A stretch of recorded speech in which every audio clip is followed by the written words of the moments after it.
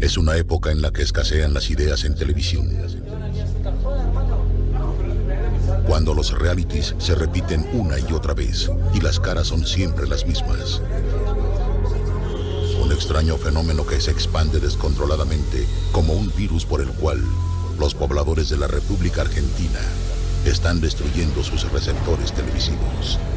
Televisores que vuelan desde las alturas y se estrellan contra el pavimento, reduciéndose a polvo. Las cadenas de electrodomésticos ya no venden Smart TVs. La tendencia ha cambiado. Los humanos ahora compran compulsivamente equipos de radio y auriculares. Pasajeros que suben a taxis y piden a los choferes que suban el volumen porque quieren escuchar atentos. Familias que cenan sin una caja boba que las distraiga.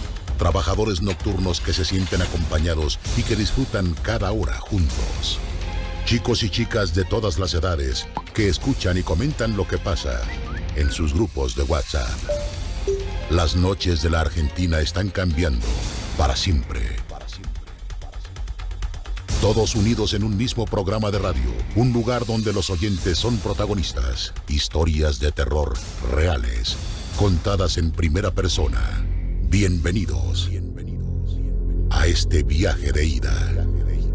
Esto es El ritual radiofónico de todas las noches. Noche Paranormal.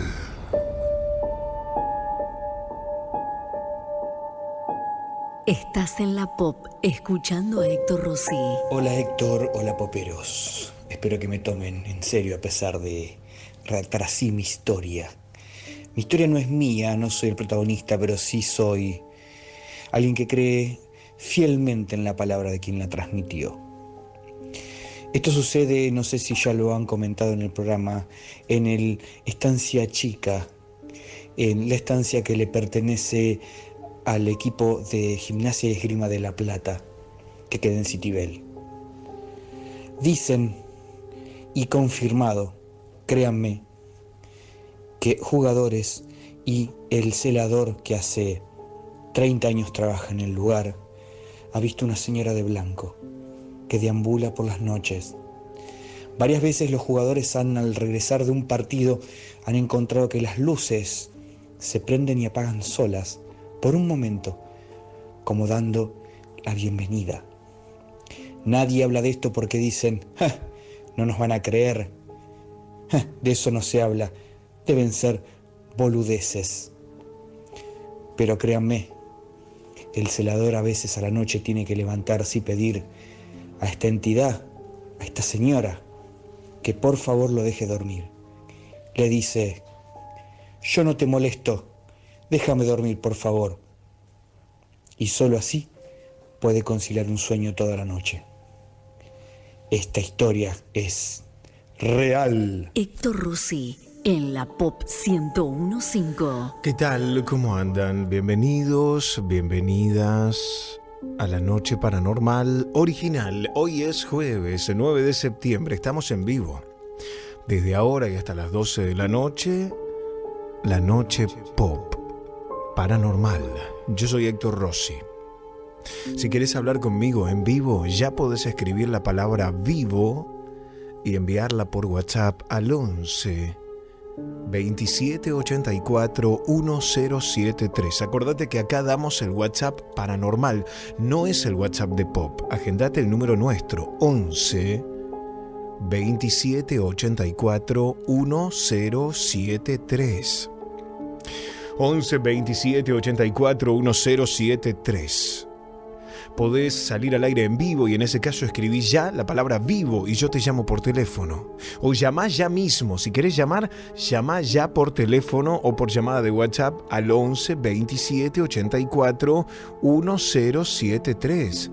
Salís al aire en vivo y me contás tu historia paranormal. Contanos tu historia paranormal en vivo. Llamando al 11 27 84 1073. Grabala en audio y envíala por WhatsApp al 11 27 84 1073. Como te decía, también la podés grabar en un audio y la historia sale al aire. La escribís y la leo yo en vivo. ¿Quién habla por teléfono? Buenas noches.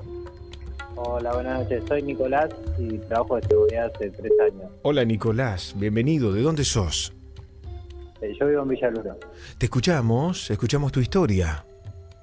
Bueno, eh, cuando empecé a trabajar en la seguridad me dieron un edificio, un objetivo por el Estado Consorcio, en Recoleta, a una cuadra del cementerio, sobre Puerredón y Guido.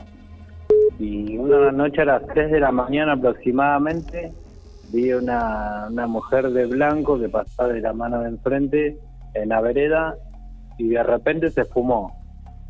Eh, eh, estaba solo, la verdad que me quedé congelado y fue una noche horrible porque no pasaba más la hora.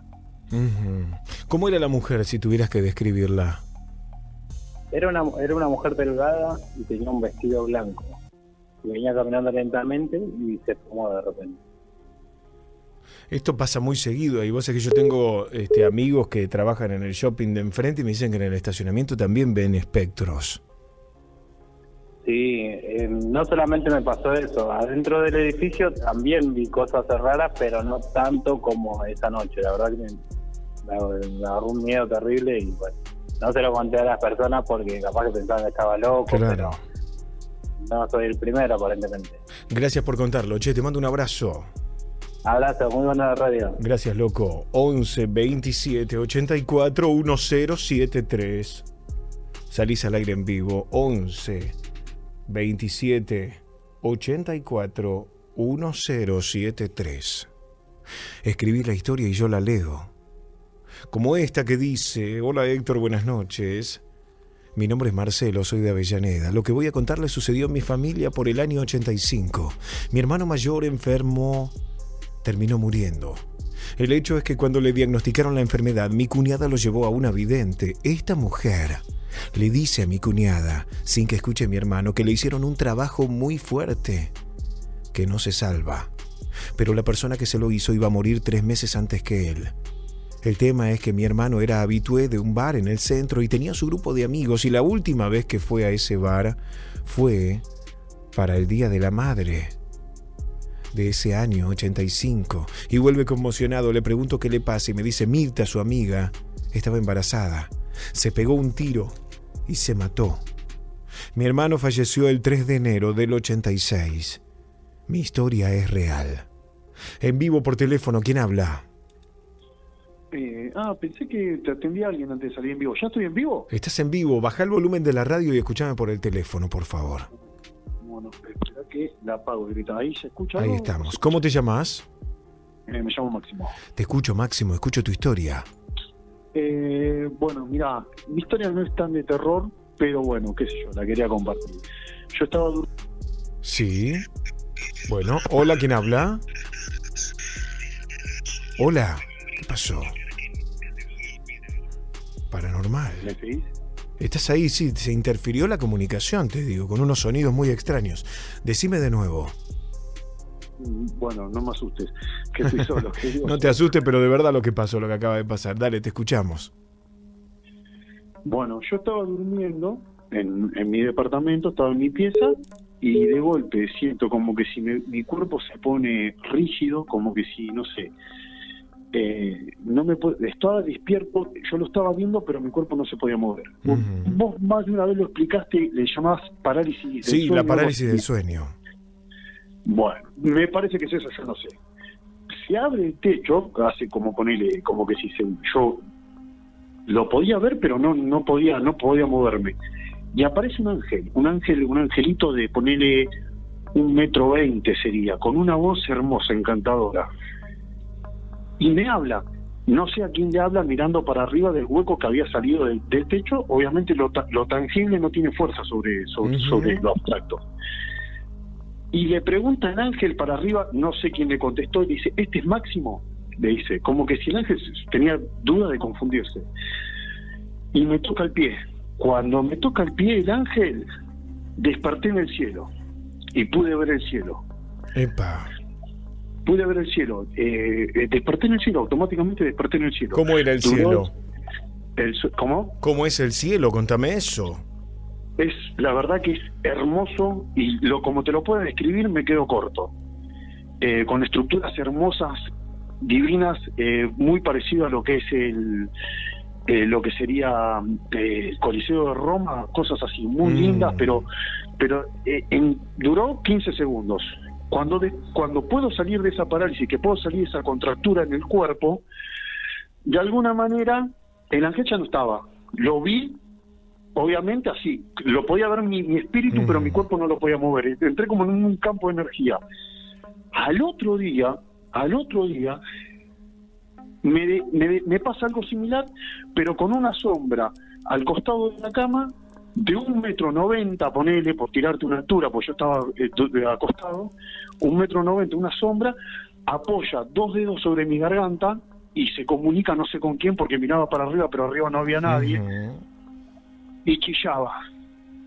Un evangelista me dijo que era un demonio. Yo no sé si era un demonio, para mí era un alienígena, pero bueno, son pensamientos míos, porque la- chillaba, no tenía cuerdas vocales, me, me apoyaba la- los dedos en, en mi garganta, miraba para arriba y chillaba en- como Axel Rose en los 90. Qué ¿te acordás de locura. Rose Sí, sí, garganta? falsete, sí. Bueno, chillaba así. Entró a chillar, entró a chillar. Yo lo estaba viendo a la sombra y veía que chillaba. No me quiero hacer el sonido, pero hacía algo como. Le mandaba así unos gritos histéricos zarpados. Yo no podía moverme porque otra vez me pasó lo que me había pasado el día anterior con el ángel que preguntó: Este es Máximo y desperté en el cielo. Pero no me podía mover, pero yo lo estaba viendo a la sombra. No me hizo daño, solo me, me apoyó los dedos en la garganta y se, se comunicaba así, parecía que no tenía cuerdas vocales.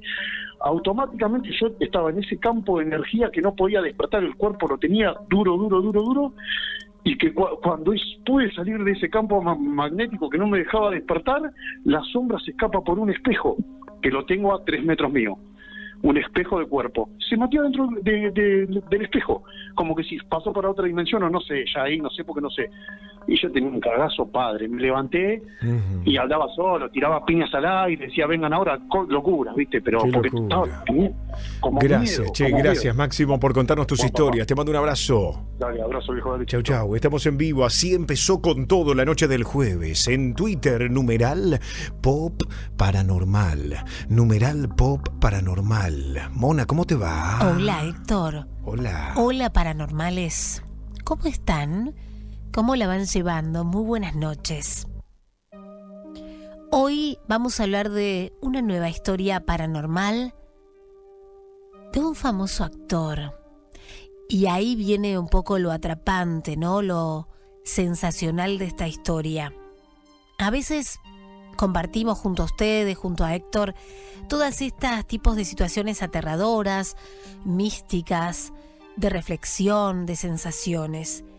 Pero llama mucho más la atención, o al menos sorprende más cuando viene por ahí de, de una estrella, ya sea del ámbito musical, deportivo, del espectáculo, que se anima a contar este tipo de experiencia. Se trata de Aristóteles Teli Savalas, quien antes de morir, a causa de un cáncer de vejiga, reveló detalles de un fenómeno paranormal con el que cargó 40 años de su vida. Una estrella estadounidense hiper famosa que no se animaba a contar y bueno, al final de su vida decidió hacerlo. Ya estamos con vos, conectadísimos a través de nuestro WhatsApp paranormal 11 27 84 1073. Ya también se van conectando aquí junto a Héctor a sus redes arroba Héctor Locutor OK Instagram, arroba Héctor Locutor en Twitter. En un rato se viene esta impresionante historia. Quédate con nosotros. Gracias, Mona. 11 27 84 1073. Hoy hay Historia Central. Estreno. Suban el volumen. Esta es la historia real de la maldición de los ancestros. En primera persona. Soy profesor. Vivo en La Plata. Durante algunos años trabajé como docente en una escuela nocturna. Es bien sabido que muchos de los que asisten allí son personas adultas y algunos no tienen educación. Más de una vez fui amenazado, pero con el tiempo aprendí a usar la palabra para domar a esas fieras y esos que quieren usar la ley de la calle. Con el tiempo me cansé y dejé la escuela, pero no fue por la amenaza de uno de aquellos delincuentes. Esta es mi historia. Me dedico a enseñar lengua. Durante el año 2014, uno de los alumnos de mi clase era un muchacho llamado Michael Kuroki. Sus padres habían venido desde Asia para instalar un supermercado. Él asistía a la escuela para terminar sus estudios. Era callado, siempre se sentaba al fondo, ignorado por los demás. En cierta ocasión, yo estaba evaluando el análisis del matadero de Esteban Echavarría. Aquel muchacho sabía leer español, pero por algún motivo le costaba mucho hacer un análisis y desglosar cosas como el contexto de la obra. Yo era severo pero justo, quería que él aprenda si estaba por vivir en este país. Debía saber cosas del mismo. Varias veces reprobé su examen hasta que él me pidió para hablar a solas. Maestro, Usted tiene que entenderme, si me va mal, mis padres me van a obligar a dejar la escuela y trabajar en el negocio. Yo no quiero eso. Muy serio yo le dije que si deseaba ser alguien en la vida, no debía buscar el camino fácil. El chico me clavó una mirada de odio y se fue. Al día siguiente quise hacer un chiste, una pequeña broma. Dije en voz alta, Michael. Solo un adelanto, solo un adelanto de la historia central estrenó. de esta super noche de jueves. ¡No! ¡No! ¿Cómo que un adelanto? ¡No! ¡No! ¡No! En un ratito la historia completa, quédense con nosotros. Numeral pop paranormal, numeral pop paranormal. Ah, respira un poquito, clava una tanda, volvemos y le pegamos derecho sin interrupciones. Bienvenidos a la noche paranormal. Hasta la medianoche, escuchás a Héctor Rossi en la Pop 1015. Hasta la medianoche, escuchás a Héctor Rossi en la Pop 1015.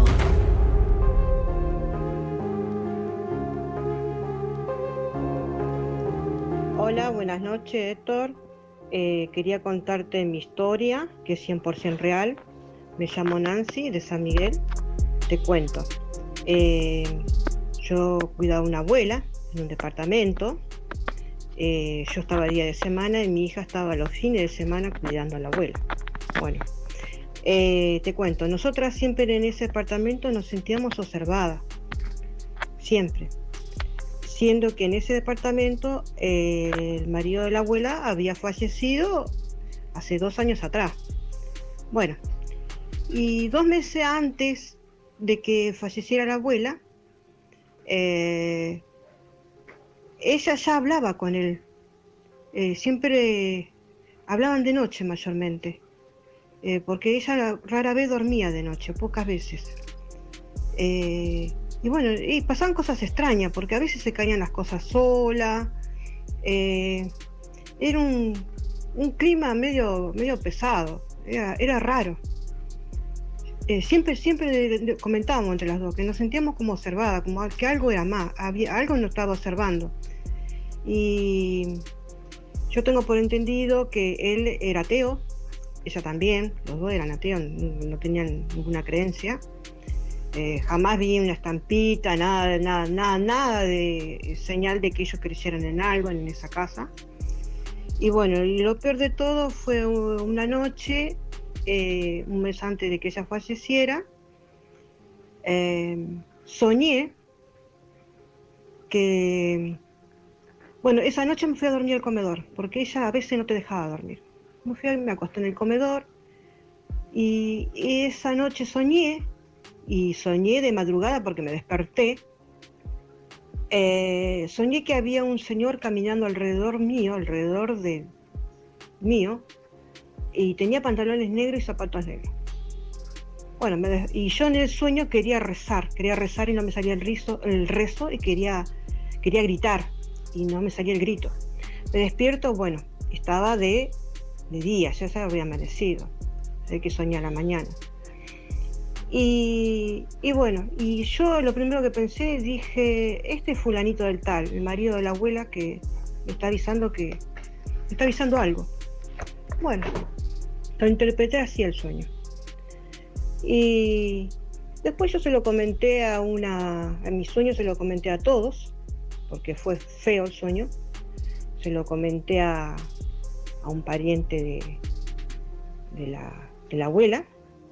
Y me dijeron, no, ese es fulanito de tal, el marido de la abuela, porque el marido de la abuela usaba pantalones negros y zapatos negros. Y, y bueno, me quedé helada, porque bueno, pero yo igualmente ya presentía que era él, no sé por qué presentía que era él. Yo lo interpreté al sueño como que él no quería que la deje sola a ella en la habitación. Yo jamás la dejaba sola, fue la primera noche, la segunda noche que la dejaba sola, porque no me dejaba dormir de noche ella. Y bueno, eso es lo, lo, más, lo último que me pasó. Tengo, tengo varias para contar, muchas. Pero bueno, es lo que quería contar ahora. En otro momento te contaré otra de mis, mis cosas raras que me han pasado. Bueno, muy buena la radio, muy buena. La escucho hace un tiempito que la vengo escuchando en la radio y muy lindo, muy, muy buen programa. Estás en la pop escuchando a Héctor Rossi. Hola Héctor, eh, bueno, me pasó camino de cintura lo que es Monteverde, allá a Rotonda del Vapor. Eh, iba al casamiento de mi cuñada, eh, era una noche como la de hoy, así entre lluviosa y, y húmedo ahí. había bastante tránsito y de repente antes de subir el puente se me cruza un nene corriendo.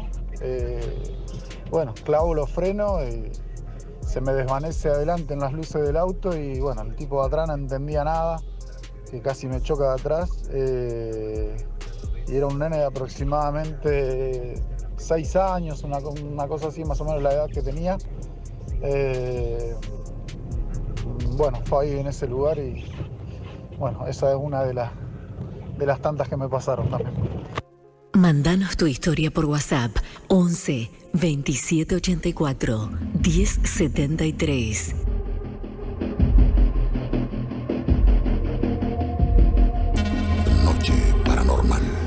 Gracias por estar con nosotros. Estamos completamente en vivo. Hoy es jueves 9 de septiembre. Habitualmente nos acompaña los lunes, pero como ya saben ustedes, lo que se prepara, lo que se organiza, lo que, lo que está esquematizado, enseguida choca con la vida, enseguida choca con otros planes que nos van modificando todo el tiempo. Y por eso hoy jueves vuelve a estar, el lunes también va a estar. Pero hoy jueves abre un consultorio bonus track. ¿Por qué? Por la cantidad de preguntas, por la cantidad de mensajes que nos llegaron al WhatsApp 11 27 84 1073. El WhatsApp paranormal 11 27 84 1073. LS para psicólogo, doctor en psicología social magíster en psicoanálisis, es mago blanco, es escritor, conferencista y mucho más. Hoy abrimos un consultorio extra con el maestro Antonio Laceras en vivo. Buen jueves, Antonio. Antonio, ¿estás ahí? Bueno, lo vamos a volver a conectar, ahí lo perdimos. 11 27 84 1073. Buenas noches, le habla Pablo. Eh, bueno, mi historia aconteció a los 15 años y me acuerdo que había fallecido justo mi vecina, producto de la droga, una joven de 18, y estando en la casa, eh, en la pieza, solo, veo una silueta, una persona eh, vestida de gris que entra al baño, la mitad del cuerpo, y pensando yo que era mi madre, la llamé, pero no me contestó. Y la segunda vez que la llamo, al no tener respuesta, me meto al baño y, y veo que no hay nadie. Y fui hasta hacia afuera y mi madre estaba afuera con una ropa completamente diferente a lo que yo vi. Cuando vuelvo a la pieza, me doy cuenta que yo la puerta del baño la veía entera desde mi cama, pero yo había visto la mitad del cuerpo de esta persona que pasó. Eh, así que En ese momento me asusto y cuando estoy pensando en eso, veo como que del baño sale una bola eh, así roja y se mete abajo la cama y bueno, ahí ya pegué un salto y salí de la pieza. Y hacía unos días que había fallecido justamente esta vecina, así que me imaginaba que podía haber andado rondando por ese lugar. Antonio Laceras, a ver si estás ahora en vivo. Antonio querido. Bueno, hay un extraño fenómeno por el cual no lo estoy escuchando, Antonio. Antonio, ¿estás ahí? No lo escuchamos. No lo escuchamos. Vamos a intentar reconectarnos. A ver si lo vamos a llamar por WhatsApp. A ver si en todo caso hay algún problema en el teléfono de línea. Vamos a intentar, vamos a intentar todo. Porque esta semana ha sido una semana rara con el fenómeno paranormal, con la caída de la transmisión el día martes, con los mensajes extraños ayer. Vamos a intentar una vez más enlazarnos con Antonio Laceras. Si no, lo intentamos en un ratito, ¿eh? 11 27 84 1073. Estamos en vivo. Historias reales y fenómenos paranormales. Al aire. Estás escuchando a Héctor Rossi hasta la medianoche, acá en la Pop 1015.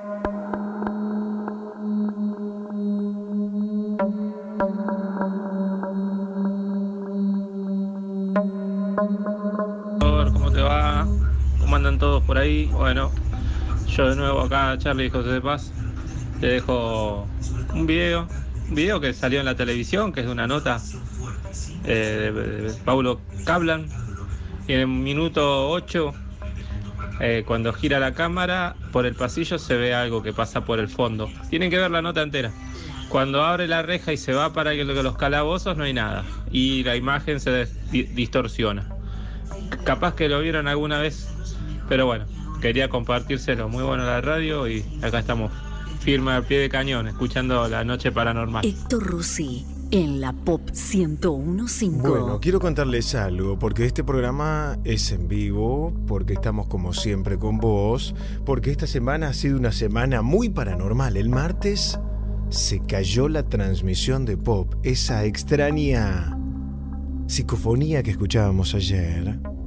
Me dice Mauro Campagnolo que también ocurrió que se tildó la consola de transmisión. Se mueven las luces, no, es impresionante la cantidad de energía, pero ahora sé que está él, que insisto, es parapsicólogo y el maestro Antonio Laceras en vivo. Antonio, buen jueves, ¿estás ahí? Buenas noches. Ay, por favor, pero ¿cuánto costó? Hoy, eh, y hoy y esta semana en realidad ha sido una semana de un movimiento de energías tremendo, Antonio.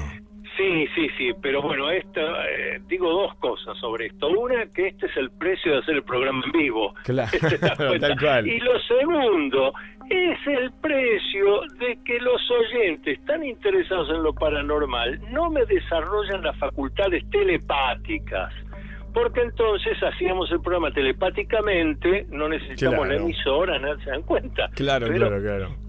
Por, ahora vamos a tener que seguir aquí en la pop, no hay otro, no lo podemos hacer telepáticamente. Sí, señor, es Antonio Lacera, si está en vivo con nosotros. Como decíamos al principio, un bonus track, porque en realidad el lunes vuelve el consultorio, pero hubo tanta pregunta, tanto audio, tanta interacción, que vale la pena tener este contacto con vos.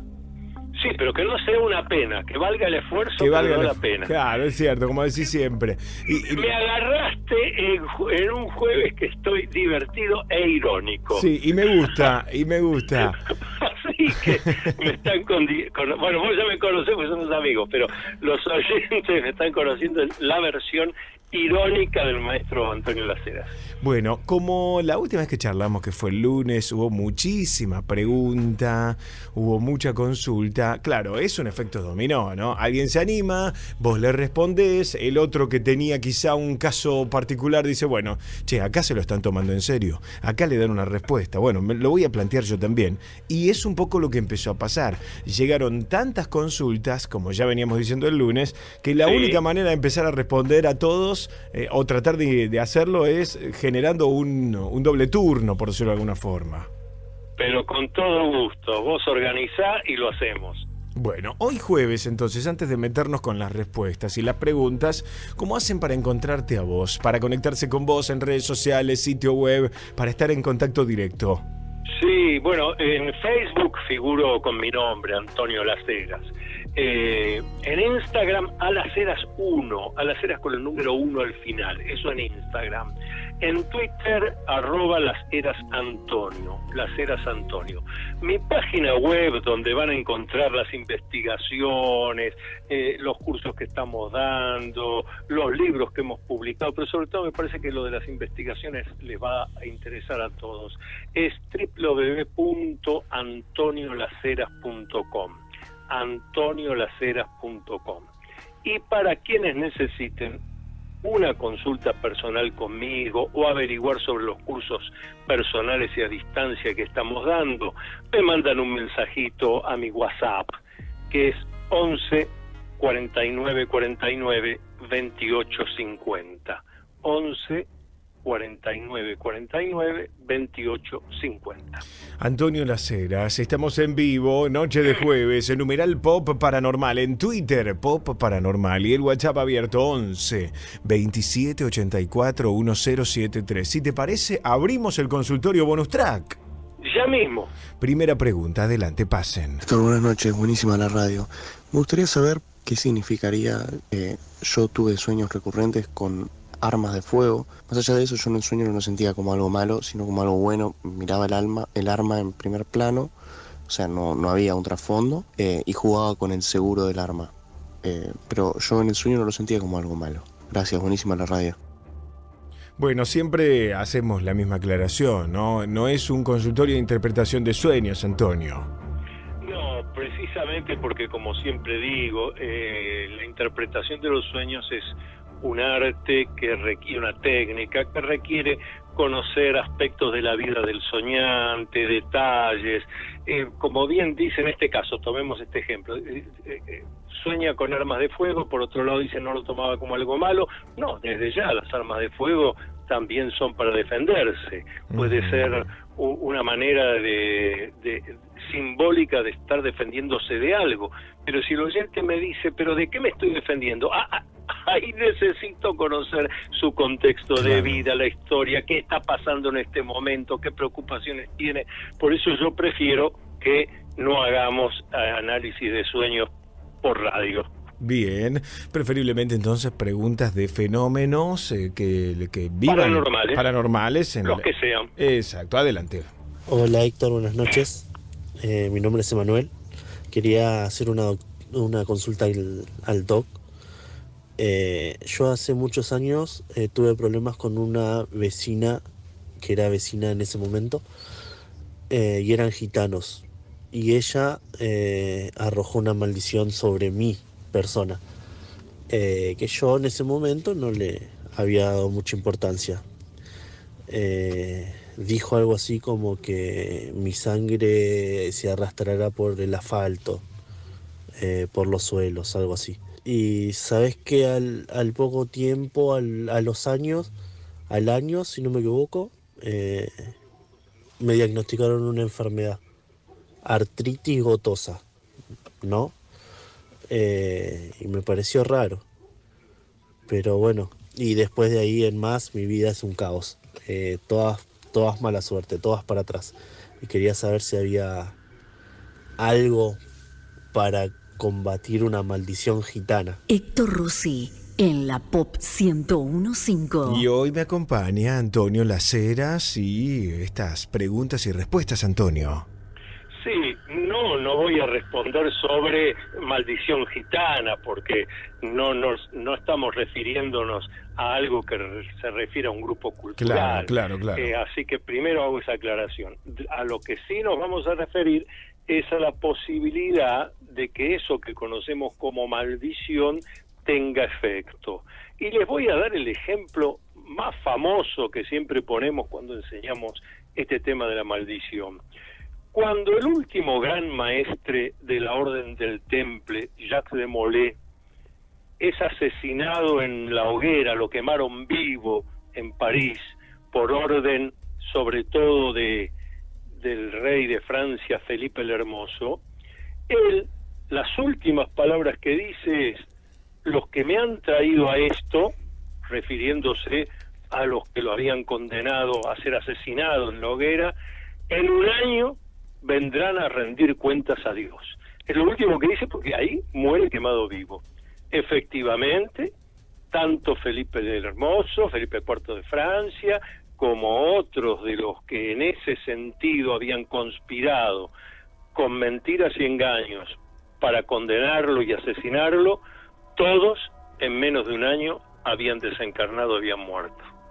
Ahí se ve que los efectos de lo que conocemos popularmente como una maldición es efectivo en la medida que aquel que lo ha emitido tenga un desarrollo parapsicológico, esotérico, acá estamos hablando nada menos que del gran maestre, el último gran maestre público del orden del temple, Jacques de Molay, pero hay gente que sin ser famosa ni conocida, sí sabe y practica ciertos rituales y ceremonias que van acompañados después de haber lo que popularmente se dice echado una maldición. Y eso claro que tiene efectos. Ahora, esto en lo que hace lo esotérico, lo parapsicológico. También hay que tener en cuenta que hay gente que es sugestionable.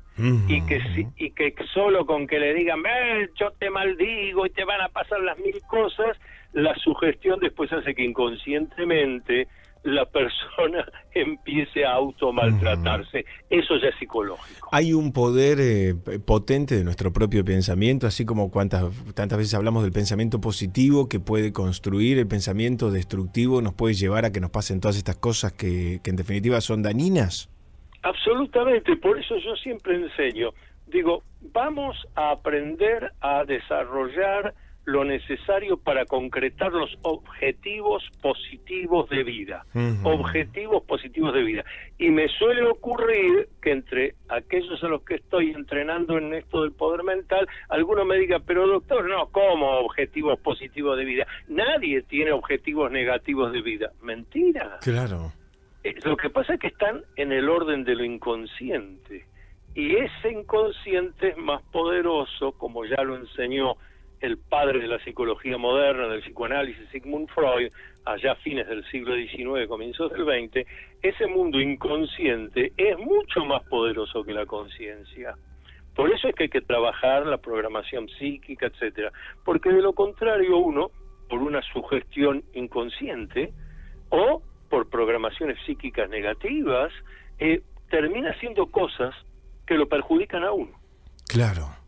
Es Antonio Laceras, hoy es jueves, ustedes pueden enviar sus mensajes por Twitter, numeral pop paranormal, numeral pop paranormal o bien por audio en WhatsApp 11 27 84 1073. ¿Qué tal? Buenas noches. Quería hacer una consulta con respecto a mi hijo. Yo tengo un nene de 5 años y él dice ver a su tío arcoiris. Yo tengo un hermano que falleció cuando era bebé que falleció hace muchos años, en el año 90, y ya van tres o cuatro cosas que hice que son muy presentes de mi hermano, y no es eh, una persona que nombremos mucho.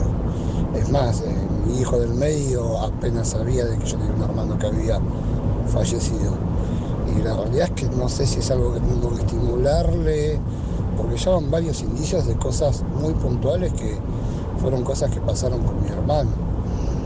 Eh, doy un ejemplo, el, otro día, el invierno este, estaba medio congestionado y viene y le dice a mi mujer que le ponga Vivaporú como le ponían a, su tío arcoiris. Y el Vivaporú no es algo que nosotros utilicemos, era algo que utilizaba mi mamá con mi hermano, pero mi mujer y yo jamás lo utilizamos. Eh, así varios ejemplos. Ayer, el 31, fue el cumpleaños de mi hermano más chico eh, y él se levantó, que encima es el padrino, y va y le dice a mi mujer que hoy cumple su padrino. Y dice, ah, te lo contó Zoe. me dice, no, me lo dijo mi tío Arcoiris, que le manda un beso. La realidad no sé si es algo que tengo que estimular, averiguar. Ya son muchos indicios de, de cosas que hasta ni yo me acordaba, le tenía que consultar a mi mamá y cuando se las cuento se le pone la piel de gallina. Bueno, no sé si llegaste a comprender completamente, Antonio. Totalmente comprendí, pero eh, entero el mensaje y es evidente que estamos hablando de un chico que tiene desarrolladas de manera natural sus facultades extrasensoriales, sobre todo telepáticas. Entonces se está captando de sus familiares, está captando cosas que tienen que ver con lo que ha ocurrido en la historia de la familia. Y lo va diciendo, lo trae al mundo aquí presente. Ah, eh, así, eso es típicamente telepático. Ahora, a la pregunta que hace el padre de qué tengo que hacer, la respuesta es ni estimular, ni buscar eh, frustrarlo, dejar fluir. Dejar que fluya, tomar todo eso con naturalidad, no mostrarse asombrado, demás, porque le puede afectar al chico de sentir, bueno, estoy haciendo algo que, que, que, soy diferente, soy distinto, entonces mejor lo... Eh, el inconsciente nuevamente, el inconsciente lo reprime. No, no, no, no. Se toma con naturalidad y se deja fluir. Ahora, este chico está con toda su facultad extrasensorial activa si me permiten a mí decir, yo digo eso es bueno, porque eh, forma parte de la esencia humana, pero hay que dejarlo fluir. Como algo natural claro, que nos llame la atención. Bien, Antonio Laceras está en vivo con nosotros, 11 27 84 1073. ¿Qué tal? Buenas noches. Yo quisiera saber por qué por las noches tengo. Siempre se despertarme a las 3 de la madrugada y siempre hay veces que me sueño y entre sueños en mi pieza hay algo vívido y siento eh, la presencia de alguien que está moviendo las, las cortinas y todo, o sea, en mi sueño, porque yo sé que es mi pieza, por ahí me siento atacado. Y según dicen, yo hace tiempo salía con una chica que fue la que me maldijo, por así decirlo. Me dijo una, una maestra de magia blanca, digamos. Bueno, eh, varias cosas al mismo tiempo, que se despierta siempre a las 3 de la mañana, que siente que le mueven las cortinas, que hay como, según lo que define, una especie de presencia, y además agrega al final que él salió con una chica, que esa chica lo maldijo, Antonio. Sí, fíjate que una vez más surge hoy el tema de la maldición. Que, que es bueno que surja porque estas cosas parecen ser de otra época, que en este siglo XXI ya no se habla de eso. No, mentira. Todas estas cuestiones esotéricas siguen presentes en nuestra humanidad, siempre por más desarrollo científico y tecnológico que tengamos, y hay que prestarle atención. Ahora, en eh, la situación específica del oyente, eh, yo le diría que lo más probable es que lo que está eh, percibiendo es real y que en realidad hay una presencia que se manifiesta en un horario determinado, eso suele ocurrir en muchos casos. Ahora, eh, puede tener su origen en un maleficio, en una brujería, en un hecho de magia negra que le hicieron, puede ser. Habría que esto requiere analizar el caso en particular, pero así en general sí, bien podría ser que esté siendo afectado por lo que llamamos popularmente una brujería, un hechizo que le hicieron hace tiempo, sí, claro. La noche del jueves es paranormal con Antonio Laceras. Buenas noches, Héctor. Eh, mi nombre es Daniel de Pilar. Mi consulta es para el doctor. Quería saber que en mi casa está pasando que de frente de mi casa no crece nada. Plantas un árbol, una planta, se muere. Muere todo lo que... Pero la parte de atrás de mi casa crece todo normalmente. Estaban hablando de las velas. Mi señora es correntina y siempre pone velas rojas. Prende al, al santo, el gauchito Gil que tiene en casa.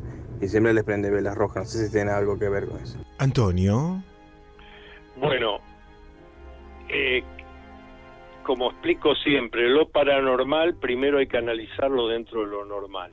Si alguien me dice, como el oyente, eh, si planto en tal lugar las plantas crecen bárbaros, si planto en tal otra no crecen bien o se, o se secan o directamente no crecen. Yo lo primero que tengo que decir es, pero analizaron la tierra de ahí, llamaron a alguien que sepa de botánica, que tenga algún vivero, porque quizás la tierra mm, tiene algún, alguna vez recibió alguna sustancia que impide que las plantas crezcan ahí lo paranormal primero siempre buscamos explicarlo por lo normal. Si no resistiera lo normal, entra en el campo de lo paranormal. Luego, en el caso específico del gauchito Gil, la tradición dice que hay que encenderle una vela roja. Bueno, así que está haciendo lo correcto, ahí no tiene problemas. 11 27 84 1073. Hola, este es un mensaje para el profesor Laceras. Eh, profesor, yo tengo mi caso de que cada vez que veo a alguien por la calle, por momentos solo veo el cráneo hueco, o sea, las cuencas vacías, como si se diría la calavera, el cráneo vacío. ¿Por qué pasa esto? Si me pueden contestar, porque es la primera vez que le mando esto al profesor. Y bueno, espero que escuchen mi mensaje. Muchas gracias. Bueno, la primera vez que escucho algo así, vos, sos el que tiene experiencia que Antonio. ¿Esto es común? No, no, no, esto es absolutamente infrecuente, pero de vuelta vamos a explicar el tema primero desde lo normal. Si estuviera yo hablando con el oyente, le diría, ¿qué te dijo el oftalmólogo? Fuiste primero al médico, te revisó la vista porque puede ser algún tipo de problema que le, que le genera esa visión falsa o esa visión rara. Eh, una vez que tuviéramos la respuesta de que la ciencia no nos puede decir de qué se trata, ahí veríamos. Bien, lo explicamos primero por lo más simple, ¿no? Es que todo hay que buscar explicarlo primero por lo más simple. Volvemos a lo que se decía recién, que me me interesa subrayarlo varias veces, eh, lo de la maldición. Por supuesto que se puede hacer daño a distancia a una persona, se le puede arruinar la vida, hasta siendo alguien que lo único que hizo y a la distancia y sin conocer a la víctima inocente, que haya tenido permanentemente pensamientos de odio, de bronca, de vas a fracasar, etcétera, el pensamiento se transmite telepáticamente, llega al psiquismo inconsciente de la persona y le afecta. Bien, ahora, pero lo primero que tenemos que descartar cuando hablamos de tal me hizo esta maldición, tal me dijo y yo estaba delante, o me dijo alguien que tal me maldijo, lo primero que hay que asegurarse es que no sea una sugestión psicológica. Claro. Claro. Estamos en vivo. Ustedes saben que son protagonistas. 11 27 84 1073. Antonio Laceras responde. Hola, buenas noches. Muy buena la radio. Me llamo Cristian. Lo estoy escuchando acá en el trabajo. Me gustaría preguntarle al maestro este, ¿qué opina de la religión umbanda? De la incorporación de espíritus este, o de entidades. ¿Qué, qué puedo decirnos eh, con respecto a eso? Gracias. Antonio. Todo bueno es un tema que conozco en profundidad, realmente en profundidad, todo bueno. Lo que pasa es que, como ciertas cosas, eh, en el umbandismo hay una cierta mala prensa en más de una ocasión. Y también, Eh, perdóname que te sí. interrumpa porque hay algo que yo siento también desde el programa. Conozco gente que practica religión umbanda y también hay algo de estigmatizar y de, desde la ignorancia, en- encerrar y englobar a todo trabajo de magia negra como, no, lo que pasa es que hacen un, son umbanda. No, no, o sea, también es- pe- pecamos de ignorantes, ¿no? Por supuesto, pero es que el umbandismo no hace, no hace, a ver, no hace magia negra. El umbandismo es el resultado de cultos africanos que llegaron al Brasil, entonces allí se hizo una especie, una mixtura donde tiene aspectos que hacen al cristianismo, otros, como digo, de pueblos africanos, y ha surgido ahí algo muy rico en el campo espiritual, estoy hablando del umbandismo, que es la posibilidad de que los desencarnados tengan una manifestación en este plano. Este es un tema que yo he investigado mucho desde joven, eh, experiencias que he realizado en Brasil, en varios de los congresos de parapsicología que nosotros hicimos. Ya este año se cumplieron 40 años del primer Congreso Argentino de Parapsicología, 4 al 6 de septiembre de 1981, congreso que me tocó presidir. Y en varios de esos congresos hemos tenido eh, país de Umbanda, más que han venido a hablar, a explicar, han hecho ejercicios prácticos, pero más allá de eso, vuelvo a insistir, lo que yo mismo viví y experimenté en Brasil. Es un campo de, trabajo, de investigación, no solo esotérico, sino parapsicológico, interesantísimo. Y tal como vos decías, Héctor, no asociar que el umbandismo tenga que ver con la magia negra. Habrá otros otros otros rituales, otros cultos afro-brasileños que sí hagan eso, pero no el caso del umbandismo de ninguna manera. Sus mensajes en el 11 27 84 1073. Es una pregunta al señor de las Heras. Mi, mi padre falleció en 2013. Estuve ausente durante todo el proceso de, de enfermedad de él. Estuve ausente por algo de las cosas de la vida, ¿no? Bueno, llegó un momento que no caía, lo soñé, lo soñé como que él estaba y yo solo lo veía, yo me desesperaba. Después eh, lo soñé que hablaba con él, pero estaba en otra parte de la casa y cuando yo me daba cuenta de que estaba hablando con él, cuando iba a buscarlo me despertaba. Y hasta el día de hoy no puedo, no consigo soñar o hablar con él en el sueño. Quería saber por qué, si tiene un significado, no sé. Bueno, este tipo de, de, preguntas llegan muy seguido y tienen que ver con gente que perdió a un ser querido y que no lo sueña y que hace fuerza por soñarlo y eso no pasa, Antonio. Claro, porque los sueños no se pueden forzar, o surgen o no surgen. Los sueños son producto del psiquismo inconsciente. Ahora, eh, distinto es cuando alguien nos dice, mire, yo vi el fantasma, o, oí, oí la voz de, mi padre desencarnado diciéndome algo que me ayudó a resolver un problema. Bueno, esas manifestaciones de los desencarnados que están en otro plano, manifestándose en este plano, en el nuestro, para ayudarnos, para impulsarnos algo bueno, etcétera, eso sí ocurre. Ahora, eh, programar el sueño no, es el sueño viene directo del inconsciente.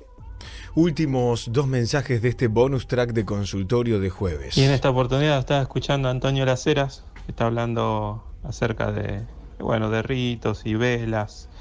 Resulta que hoy abro la puerta del garage, yo vivo en una esquina, y me encuentro con una vela roja y pétalos de flores rojas también. No sé qué flores son. La verdad que no los toqué ni nada y la verdad que no sé qué pensar, si eso es algo dirigido a nosotros o simplemente es algo de, de, otro estilo, no sé. Algún tipo de ritual que no tenga nada que ver conmigo. Me quedó la duda, nada más. Eh, así que bueno, les mando un abrazo, muy buena la radio. Bueno, Antonio. Sí, tiene que ver con rituales que se hacen, pero eh, lo que le interesa al oyente es me hicieron algo. Si le hubieran hecho algo, el ritual se lo hacen en la puerta de la casa, bien pegado, este, así que que se quede tranquilo. Bien, el último, Antonio, el último del jueves, a ver qué dicen. Hace cinco años que no veo a una persona y quería encontrarla y no pude, no podía encontrarla y lo que hago es empiezo a buscarla en Facebook y no la puedo encontrar. Y digo, bueno, ya fue, no la, no la encuentro. Y pasaron cuatro minutos y me llama por teléfono. ¿Tiene alguna explicación? Buena pregunta, Antonio. Claro, es telepático.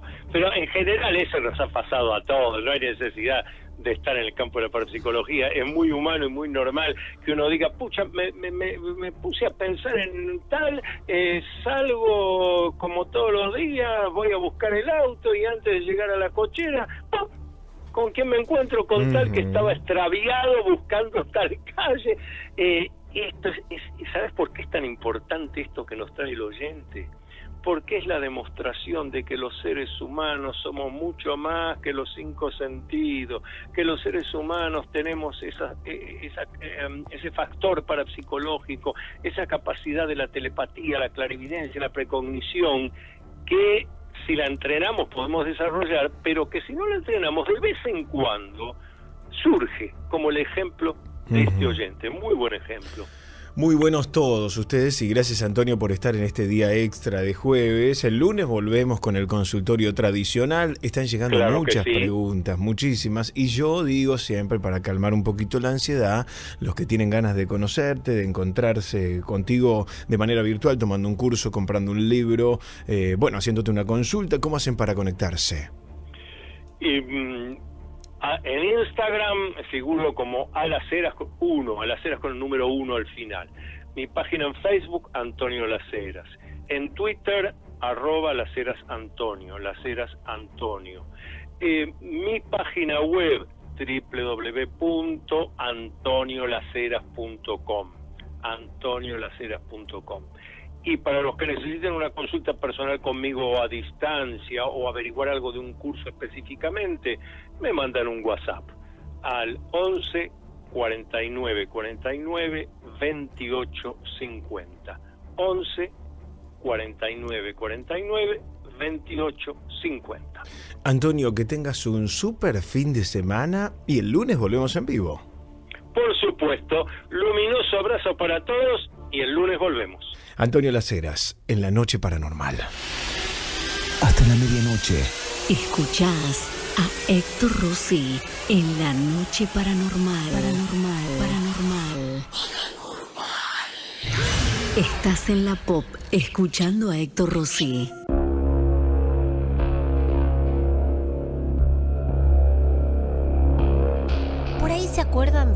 Personaje, ¿no? Conocido como Telly Savalas, que antes junto a Héctor te comentábamos, una estrella de Estados Unidos, un gran actor famoso, explotó en la década del 70.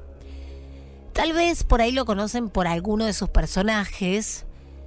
El personaje más famoso de este actor se llamaba Koyak, el detective rebelde, y tenía esta particularidad de estar siempre con un chupetín en la boca, como que ese era su sello.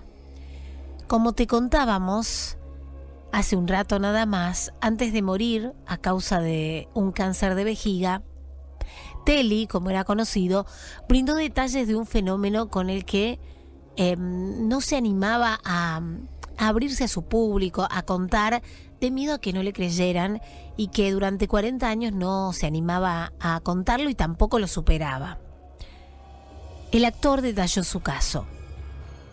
Nunca he sido supersticioso ni creo en lo paranormal. Si alguien tiene los pies bien puestos sobre la tierra, ese soy yo. Pero una vez me sucedió algo que me aterró hasta los huesos y aún lo tengo muy presente. Era pasada la medianoche y yo acababa de dejar a una linda chica en su casa cuando de regreso me quedé sin nafta. Bueno, sin más opción bajé del auto y empecé a caminar. Recorrió Teddy algunos kilómetros hasta dar con un restaurante y preguntó por una estación de servicio, como podés hacer vos si te pasa y te quedás en cualquiera de las calles o cerca de tu casa.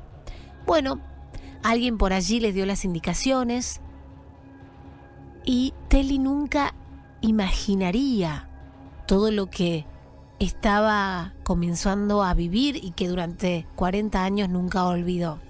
Sucede que cuando iba caminando por la estrecha calle, escuché una voz a mi espalda que me decía, si quiere yo le doy un aventón. Sin detener su paso, pero con algo de temor, se dio vuelta y recordó algo que lo dejó absorto. El tipo estaba sentado en un impactante Cadillac, pero nunca escuché el sonido del auto, ni siquiera cuando se detuvo tan cerca de mí. Según detalló Zabalas, el sujeto que conducía el vehículo estaba vestido con un elegante traje blanco. Y jamás pude olvidar el timbre tan agudo de su voz. Parecía una voz femenina. Lejos de tener más opciones, decidió subir al auto del extraño con la idea de dejarlo atrás una vez que obviamente cargara nafta en la estación de servicio. Durante este trayecto, el actor recordó aquel momento con lujo de detalles. Según manifestó, ninguno de los dos habló, pero cuando bajé del auto, empecé a buscar plata en los bolsillos de mis pantalones, de mi campera, y justo entonces él me dijo, toma, te presto un dólar. Yo no me había dado cuenta de que no tenía un centavo, pero parece que él lo sabía realmente intrigante lo que estaba pasando. Acto seguido y a modo de agradecimiento, le pregunté su nombre y la dirección de su casa para regresarle el dinero por correo lo antes posible. Fue en ese instante cuando el hombre escribió sus datos en un pedacito de papel, me lo dio y lo guardé en el bolsillo trasero de mi pantalón. Tras cargar nafta, el amable sujeto, con voz femenina, me ofreció llevarme de regreso hasta mi coche y no pude negarme. Durante este camino, el hombre le reveló confusos sucesos que tendrían lugar en el futuro. Sucede que mientras volvían de cargar nafta, de repente y sin que estuviéramos comentando nada, mencionó el nombre de uno de los jugadores de las Medias Rojas de Boston y dijo, fue uno de los mejores en el béisbol. En principio me sorprendió que hablara de ese jugador en tiempo pasado, como si ya hubiera muerto. Y sí, era uno de los mejores. Pero lo que más me extrañó de todo esto es que ni siquiera íbamos hablando de béisbol. Al llegar al auto de Telly, no arrancaba el auto finalmente y el sujeto una vez más se ofreció a ayudarlo empujándolo al vehículo. Bueno, fue así como Zabalas pudo continuar su camino hasta Nueva York y por eso se despidió muy agradecido. Horas más tarde, Telly compró un diario y su titular principal decía que el jugador de béisbol del que habían estado hablando había fallecido en circunstancias misteriosas. Bueno, al principio pensé que era una coincidencia. E incluso recordó que cuando volví a casa le conté toda la historia a mi mamá y ella me dijo que estaban pasando cosas muy extrañas. Aún no sabe por qué, buscó ese pedacito de papel con la dirección que el hombre le había dado y para su sorpresa también había un número de teléfono. Al llamar la respuesta fue, hola, bar de Jimmy, buenas tardes. A lo que el popular actor replicó, eh, sí, ¿me podría comunicar con James Cullen? Tras dar aviso, una mujer tomó el teléfono y le dijo, Señor, el hombre al que busca es mi marido y murió hace dos años. Esta información llamó la atención de Telly y por eso llamó nuevamente a la mujer un par de veces más para pedirle un encuentro. Pasado el tiempo, la señora accedió con la condición de que él pagara los gastos para viajar desde Boston hasta Nueva York. Me sentí muy extraño esperando a esa mujer. Después de describir el encuentro con su marido, me dijo que la ropa que él usaba ese día era la misma con la que estaba enterrado. El pedacito de papel que me dio estaba firmado con el nombre de James Cullen y la mujer al encuentro llevó una carta que él escribió y la firma era idéntica. En tanto, se enteró cómo fue el final de este sujeto, que se suicidó de un tiro en la laringe. Así las cosas, impresionantes, que Telly cargó con 40 años de historia. Hoy la contamos acá, en la noche paranormal. Esta noche escuchas voces. Aunque estés solo. Estás en la noche paranormal. Hasta la medianoche. Héctor Rossi, en la Pop 1015. Тили, тили, бом, закрой глаза скорее. Кто-то ходит за окном и стучится в двери. Hola Héctor, ¿cómo estás? Eh, soy Mili de San Vicente. Bueno, a mí lo que me pasó es que yo todos los días escuchaba alrededor de las 2 o 3 de la mañana pasos por el pasillo del antebaño y por el altillo. Una vez estaba en el living y bueno, ju- ju- veo pasar justo una sombra, era como una persona gris, no, no se le distinguía la cara. Y giro para ver a mi mejor amiga que estaba al lado mío, justo estábamos viendo una película y ella estaba helada mirando esa misma sombra pasar. Bueno, y ese mismo día aparecen dos huellas de un nene una nena, dos huellas chiquititas eran, de alrededor de un nene o nena de 4 o 5 años.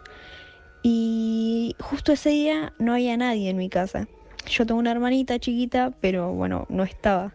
Y así me empezaron a pasar muchas cosas más. Pero todas estas cosas me empezaron a pasar cuando un día en Chascomús fui a pasar el día con mi familia y había un bosque eh, en un camping donde podías ir a pasear y bueno, etcétera. Y mi hermanita era, era bebé. y al parecer vio a alguien y empezó a llorar asustada y lloraba, bueno, como lloraba mucho decimos irnos. Cuando mi vieja dice nos vamos, ella se saca la mano de los ojos porque se estaba tapando la cara mientras lloraba y saluda a la nada, no, no había nadie y empieza a decir chau Tom, chau Tom. Y mi prima iba grabando todo y bueno, fotografiando porque el lugar era hermoso. Y después viendo una de esas fotos sale una sombra de una persona que es la misma que veo siempre. Y bueno, a partir de ese día me empezaron a pasar eh, muchas cosas y bueno, esta es una de las historias, de una de las tantas historias que me pasaron.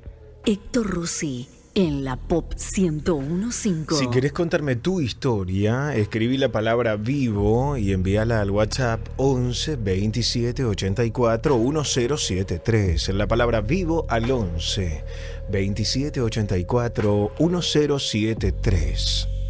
Para grabar tu audio, el mismo WhatsApp. Y si no, la escribís la historia y yo la leo al aire. Está en vivo Alejandra. Alejandra, ¿estás ahí? Hola Héctor, buenas noches. Buenas noches. ¿De dónde sos? De Plátano.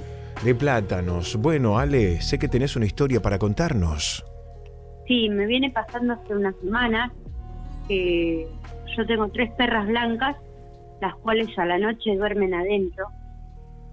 Pero viene pasando que todas las noches que mi marido está en mi casa, porque él hace guardia, y las noches que él está libre, eh, las perras abren las puertas y lo llaman a él a las 3 de la mañana, todas las noches, para que la- le abra la puerta de entrada. La primera noche le abrió, salieron los más bien, la segunda noche lo mismo, pero la tercera, una de las perras empezó a, a dar vueltas, a girar a todo el árbol que tengo adelante, como si fuera que estaba jugando a la escondida, pero no había nadie. Yo pienso que él cierra la puerta y se viene a acostar. Veo una sombra negra que hace el mismo círculo que él cuando se acuesta. Y me duermo, entre dormida. A los cinco minutos más o menos, entra él a acostarse. Le digo, pero te acabas de acostar. Y me dice, no, nunca entré a la pieza. Uy, uy, uy. Las perras vuelven a entrar y a la noche siguiente se vuelven a levantar. Así me viene pasando hace varias semanas que las perras, todas las madrugadas, a las 3 en punto, se levantan para salir al patio, pero no hay nadie. Siempre pasa exactamente a esa hora, a las 3 de la A mañana. las 3 de la mañana. Claro. Como si, no sé, voy a tratar de interpretar lo que me contás. Como si las perras vieran algo o alguien que llega a esa hora y lo, le van a dar la bienvenida. Claro, es como que están jugando a la escondida, una de ellas, la más chica. Claro. Pero no salimos y no, no, no, no hay nadie. Y la, última, que la última que te hago, y ahora me contás el, el final, pero ¿las perras salen como este, amigables o eh, con cierta eh, agresión, como repeliendo eso? No, hay dos que ladran, se van contra el portón ladrando y una de ellas se pone a jugar alrededor del árbol. Ujú. Bien. Eh, Es medio, es medio extraño porque nunca, nunca me pasó, pero lo hacen las veces que mi marido está en mi casa. Claro. ¿Me ibas a agregar algo más? No, no, era eso nada más. Que Gracias. para contar el tema de la sombra negra, que era como que yo sentía que él se acostaba al lado mío, pero no, no era él. Gracias por contarnos esto, Ale. No, gracias a ustedes por llamar. Beso grande. Estamos en vivo, la noche pop, especial paranormal. Volvimos con todo. Gracias por estar ahí. Gracias por el crecimiento de audiencia en este primer mes y piquito de la nueva temporada. Se multiplicó muchísimo la audiencia de Pop a la noche. Vamos por el primer puesto. Crecimos un montonazo en rating, crecimos un montón en streaming, más del 140% en el crecimiento de escuchas online de la noche pop, de la noche paranormal. Subimos en rating también. Estamos recontra contentos. Gracias por estar ahí del otro lado. Vamos por más. Cuéntenle a todo el mundo que volvió la noche paranormal, que estamos en pop en vivo a la noche, de 20 a 24. Yo escucho pop radio. De 20 a 24, yo escucho la pop. Hola Héctor, muy buenas noches.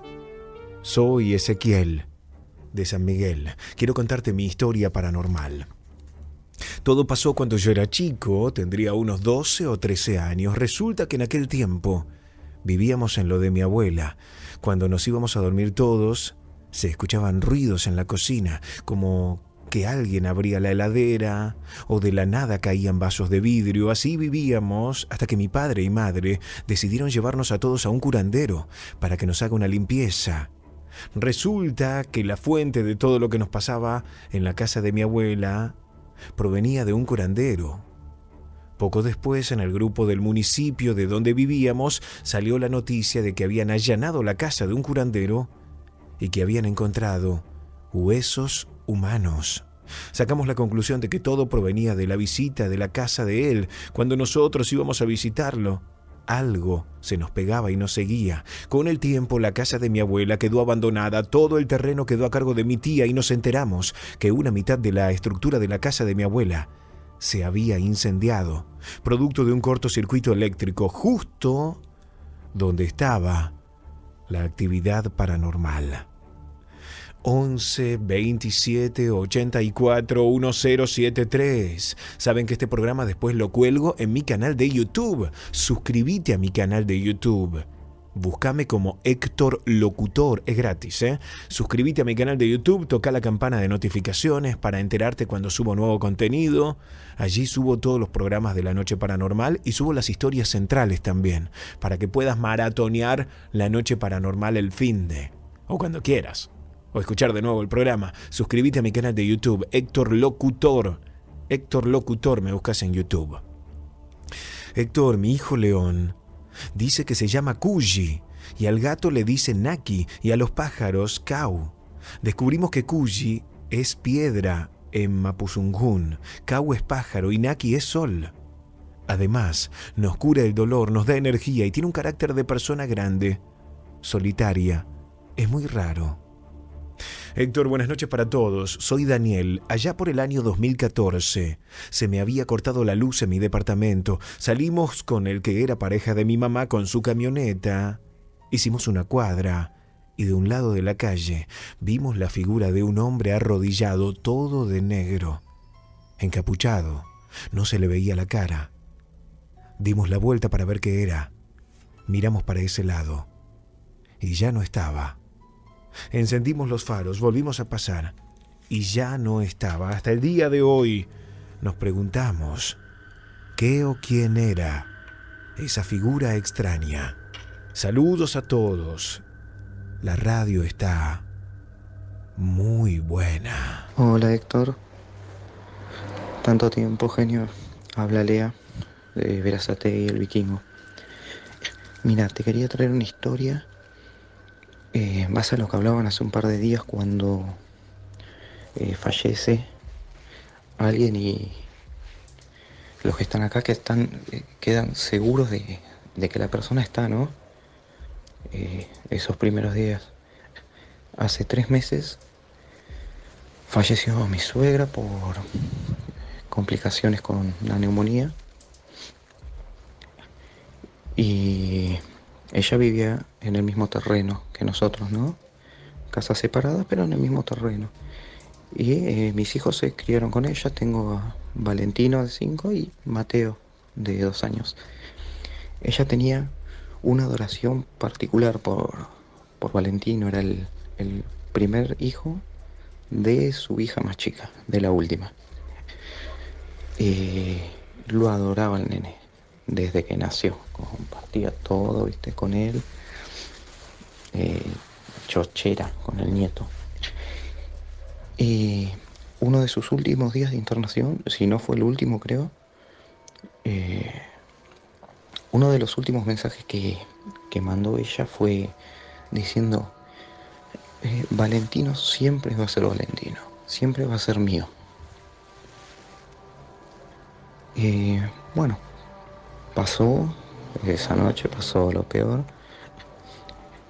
Y la primera noche que ella falleció, nos acostamos a dormir y en la pieza tenemos colgado un banner, una foto grande de un metro por un metro más o menos, del primer añito de cada nene, ¿no?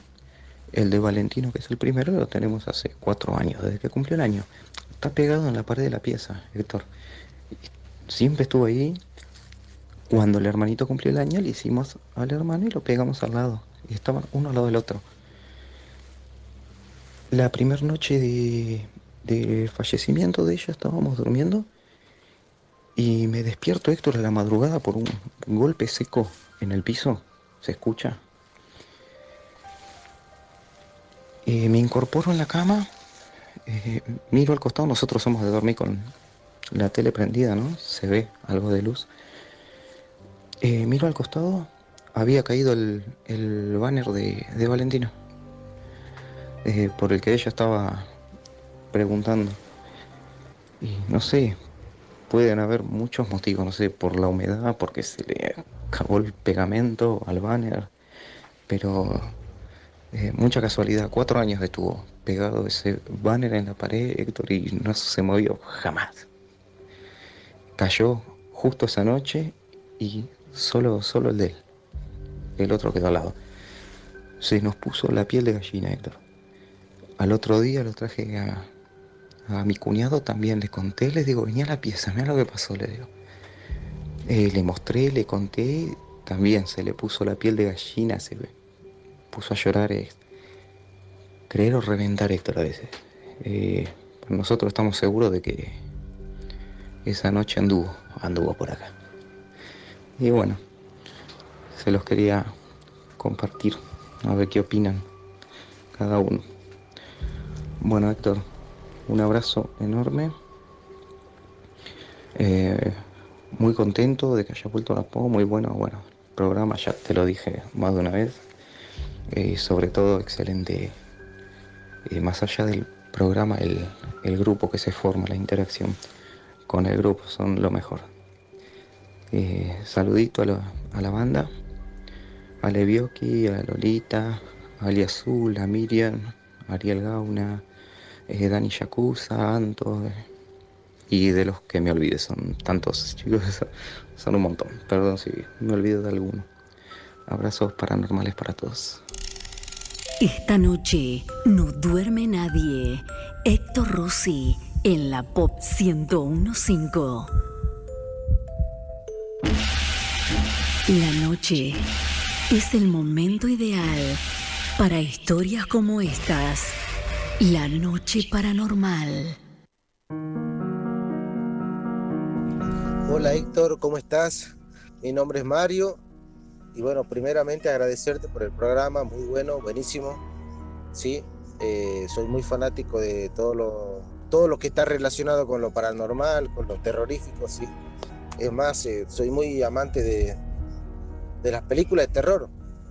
Bueno, solamente comentarte una situación paranormal que me ha pasado en mi vida cuando era un pibe, sí. Estamos hablando de los bueno, digo pibe, no sé, 16, 18 Pibe. años. Resulta que mi viejita sabía tener una, una amiga, ¿sí? Que una vez no- nos enseñó a jugar en la copa, ¿sí? Eh, recuerdo que fue en una siesta, ¿sí? Entre 2 o 3 de la tarde. El tema es que se hizo un vicio, un vicio tan rutinario que en la casa esperábamos que sea eh, el horario del almuerzo para empezar a armar el, abecedario, los números, entre otras cosas, sí, preparar la copa y limpiar la mesa. Eh, en un momento que empezamos a jugar, bueno, no podíamos parar, se, se tornó un vicio, como te decía. Y vos sabés que, que al último, no sé, al cabo de una semana empezamos a escuchar cosas, las cosas se caían. eh, lo- lo- lo- las pavas, qué sé yo, las jarras, eh, se escuchaban ruido en el fondo, entre otras cosas. El tema en- a nivel personal, más allá de que mi mami, eh, una hermana que tenía, también vivieron cada uno su, su situación paranormal, producto de este, de este maldito vicio, bueno, el caso mío lo sé, te, te lo cuento, sí, este, una noche cuando ya, ya estaba muy asustado, por todas las cosas que escuchaba, bueno, en un momento me voy a acostar a dormir. Y que por ende no era muy tarde, eran entre las 21 a 22. Y, y, y en mi susurraron Mario. De una forma muy, muy perversa. Y bueno, ahora que te voy contando lo recuerdo y se me pone la piel de gallina. Así que he comprobado que, que, sí, el juego de la copa y calculo que la cuija debe ser peor, pero sí, es, es real. El, terror pasa y, y lo paranormal está en ese momento, ¿sí? Solo eso, Héctor, saludarte nuevamente y agradecerte ya que sos mi compañía todas las noches. Soy profesor eh, a nivel nocturno, así que cada que salgo de mi trabajo lo primero que hago antes de subir al auto es sintonizar tu radio, ¿sí? Así que agradecerte, saludos. Desde Neuquén te escucho. Contanos tu historia paranormal en vivo. Llamando al 11 27 84 1073. Grabala en audio y envíala por WhatsApp al 11 27 84 1073. Gracias por estar con nosotros en vivo. Hola, ¿quién habla por teléfono? Buenas noches. Hola, buenas noches, Héctor. Rosy, ¿cómo andás? Bien, querido, ¿cómo te llamas? Eh, Flavio Romero, la otra vez estuvimos hablando, ¿te acordás? Sí, Flavio, te escuchamos, escuchamos, tenés otra historia. Sí, tengo varias, pero bueno, te voy a contar eh, porque yo creo que los ángeles siempre nos dan una mano y es así, lo, lo vi, lo viví. Lo viví. Eh, un- la primera historia hace 30 años, este, yo iba caminando, yo trabajaba en el colectivo, iba caminando de camino de cintura para por Seguí, para el lado de Monte Grande, y eran 2 de la mañana, terminaba ese horario, y para un auto y me dice, flaco, dice, "Ah, ¿vos vas lejos? No, 6, 7 cuadras. No, porque vienen atrás dos, dos malandros al lado de atrás tuyo y medio jodido. Bueno, bueno, gracias, le digo. Y eran el marido, la señora y dos nenas atrás. Yo dije, no van a llevarme porque es peligroso. Hicieron cinco metros, pararon y me dice, vení flaco que te llevo. Bueno, eh, yo tengo una memoria fotográfica. Cuando veo una persona no me olvido más. Podés creer que yo me acuerdo de la señora, me acuerdo de las nenas, pero de él no me puedo acordar. Eso para mí fue un ángel que me, que me dio una mano porque la verdad que no, no, no es, no tiene una- otra descripción. Después otra, otra vez también eh, me, se me rompió el auto yendo por, por Seguí, para el lado de Monte Grande, se me sale la rueda, para una camioneta atrás y me dice, uh, flaco, ¿qué te pasó? Yo no tenía idea qué iba, podía hacer. Me dice, pará, para un cachito, bueno, baja un cricket, me sube la, la rueda, me dice, saca un tornillo de cada lado y le ponemos. Bueno, hago eso, lo que él me hizo, le termino de poner la rueda. Cuando lo voy a agradecer, la camioneta no estaba más. Y mi tía que iba al lado mío me dijo, ¿dónde se fue? No sé. Son cosas que te quedan en la vida marcada y que vos decís, no, Los Ángeles siempre está, no hay otro. Qué buenas Y historias. tengo che. otra más. Una más, Tengo dale. otra más dale, cortita, si Flavio. querés. Sí.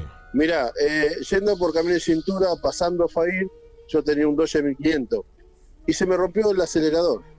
O sea que quedó sin acelerar el auto. Eh, el que conoce de auto, el que tiene un Dodge 1500 lo cambia ese acelerador en 5 minutos.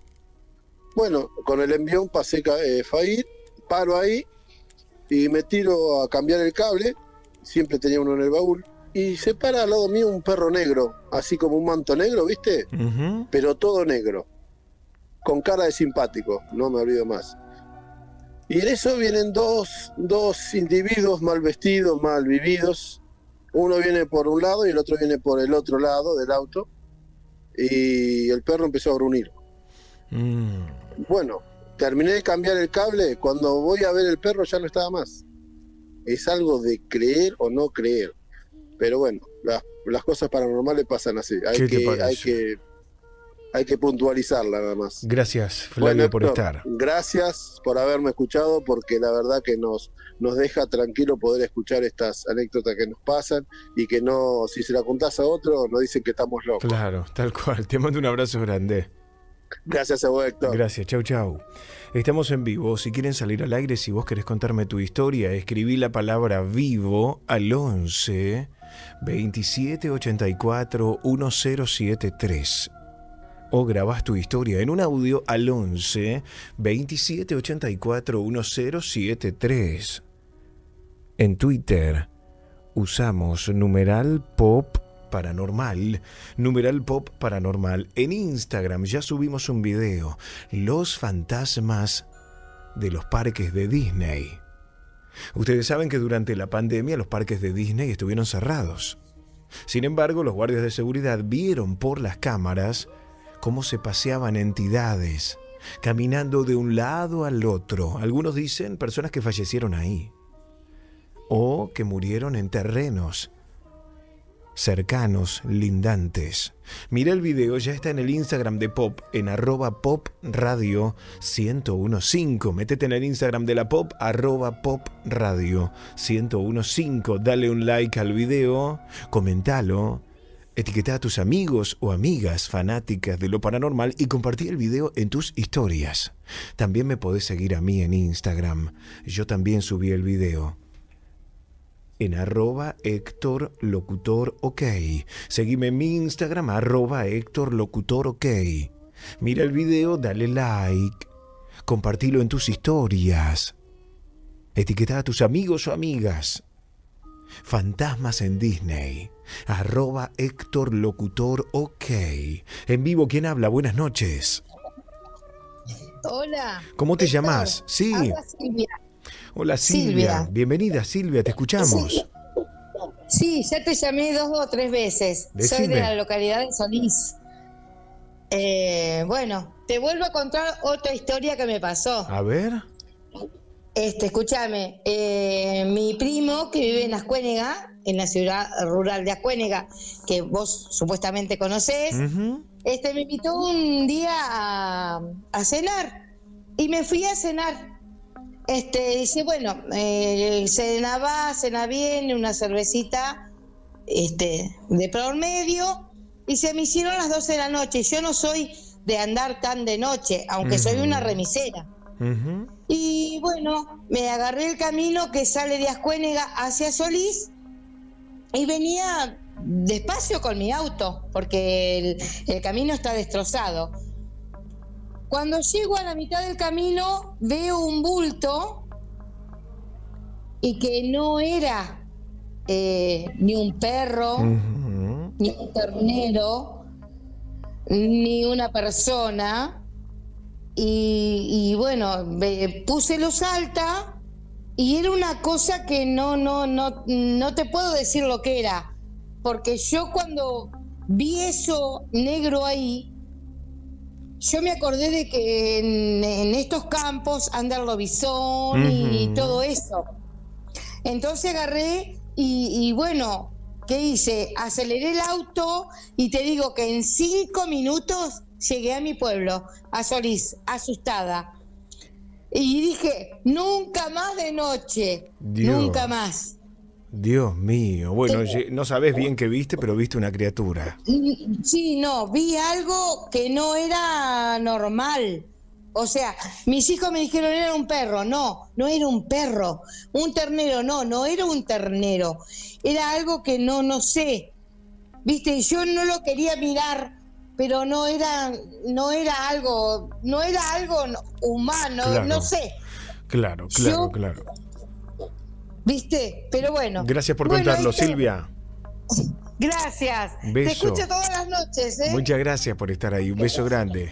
Gracias. Un besito. Gracias, gracias. Gracias. Historias reales en primera persona. Escribí la palabra vivo y envíala al WhatsApp paranormal 11 27 84 1073.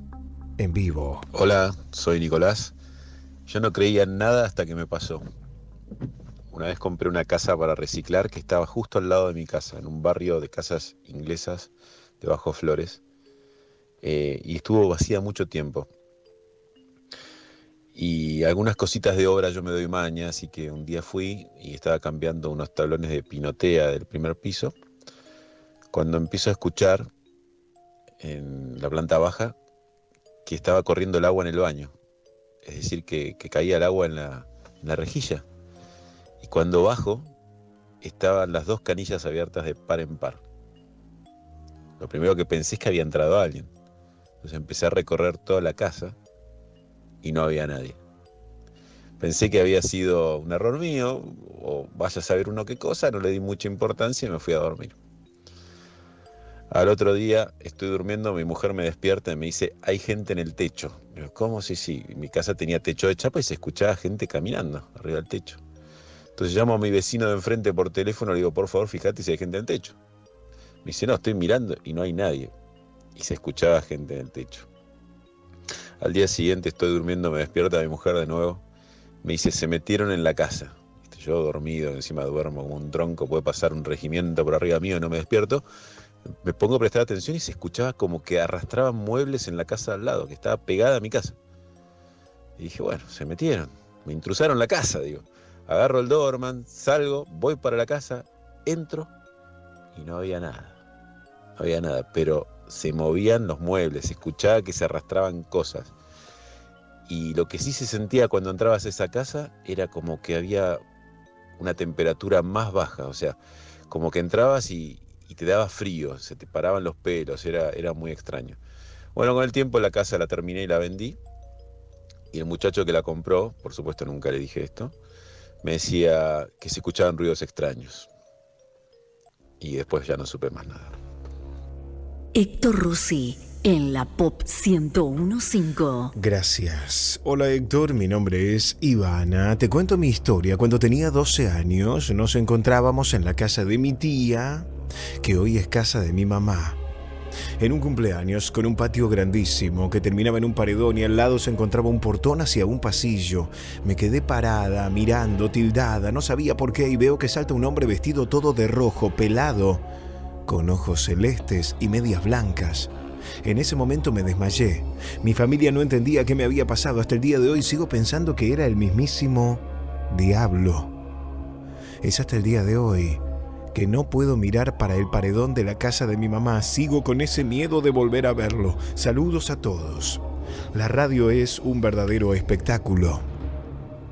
Estamos en vivo, la noche pop especial paranormal. Síganme en Twitter, arroba Héctor Locutor. Tuiteamos hashtag pop paranormal. Ella está en Quito, en Ecuador. Ella tiene Twitter arroba Josefa Roballo. En Instagram arroba Dama Oscuridad. Nuevas historias. Hoy también bonus track de María José Roballo en vivo. Hola Majo, buenas noches. Hola Héctor, buenas noches, ¿cómo estás? Bien, buenas noches. ¿Cómo estás vos? Bien, bien, muy bien. Un poco de frío, pero bien. ¿Qué temperatura tenés? Y acá ahorita están haciendo entre 8 y 9 grados. Ah, bueno, qué fresquita, ¿no? La noche. Sí, sí, está bastante frío. Como les había contado, acá no hay un clima permanente ni previsible. Mañana pueden hacer 21 grados Claro. como a la noche 8 grados, así que ahorita estamos muertos todos de frío. Bueno, con mucho frío. Estás en Quito, ¿no? Sí, sí, en Quito. ajá. Quito. Bueno, ayer hubo mucha repercusión con la historia. Como siempre te pregunto primero si subiste algún contenido a tus en redes sociales. Sí, como siempre les subo contenido nuevo, interesante. eh, y también sí tuvo mucha repercusión el video, no sé si lo alcanzaste a Ujú. El de- sí, el sí, es tremendo. esa- Que no se sabe bien si es un rayo, qué, que desaparece la persona. Ajá, como les decía, hubo mucha repercusión. Bueno, la mayoría de la gente cree, hay otras personas que saben de edición que dicen que es editado, pero eh, de donde se obtuvo el video dicen que hicieron el análisis y obviamente van a decir que es verdadero. Pero de todos modos, Uy, lo uy, que uy, se cree es que es verdadero por la reacción del amigo, del muchacho. Es una reacción bastante orgánica, porque se queda como frío y después arranca a correr porque no sabe qué hacer y de hecho el muchacho está desaparecido. Eso es lo que se sabe. Dios bueno. mío. Todavía está colgado el video en tus Eh, redes, ¿no? Sí, sí, siempre está en arroba dama oscuridad, donde hay ya casi 200 videos para la gente que les gusta, bueno, para todos nosotros que nos encanta lo paranormal, para que pasen por eh, arroba dama oscuridad, dando su like, comentando o eh, sugiriendo también nuevos videos. Hay muchos oyentes que me pasan páginas, videos, lugares donde puedo sacar y como siempre son bienvenidos.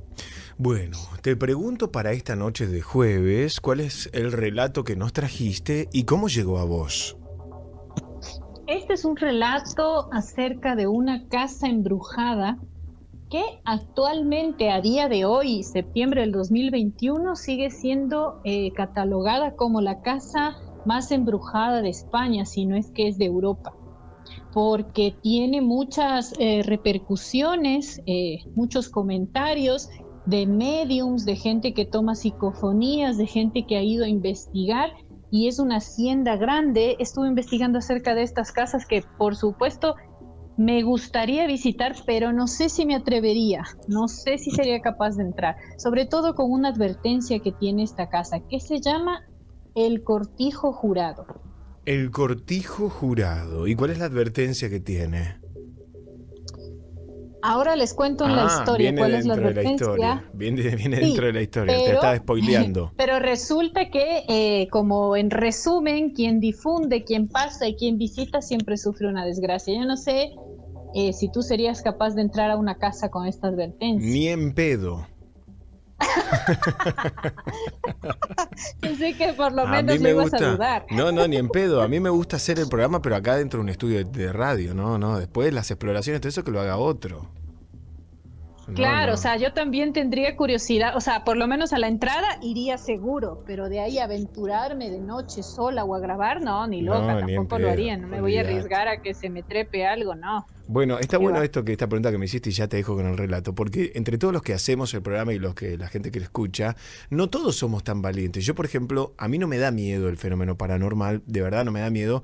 Me encanta esto, generar el clima desde un estudio de radio, pero no me apasiona, por ejemplo, ir a un cementerio de noche, esas cosas. La verdad es que no, no, no es que me muero de ganas de hacer eso. Eh, me gusta hacer el programa. No sé si seré cobarde, pero no me animo a eso. Digo, ¿por qué? No, no, no. A eso no me animo. ¿Vos te animarías?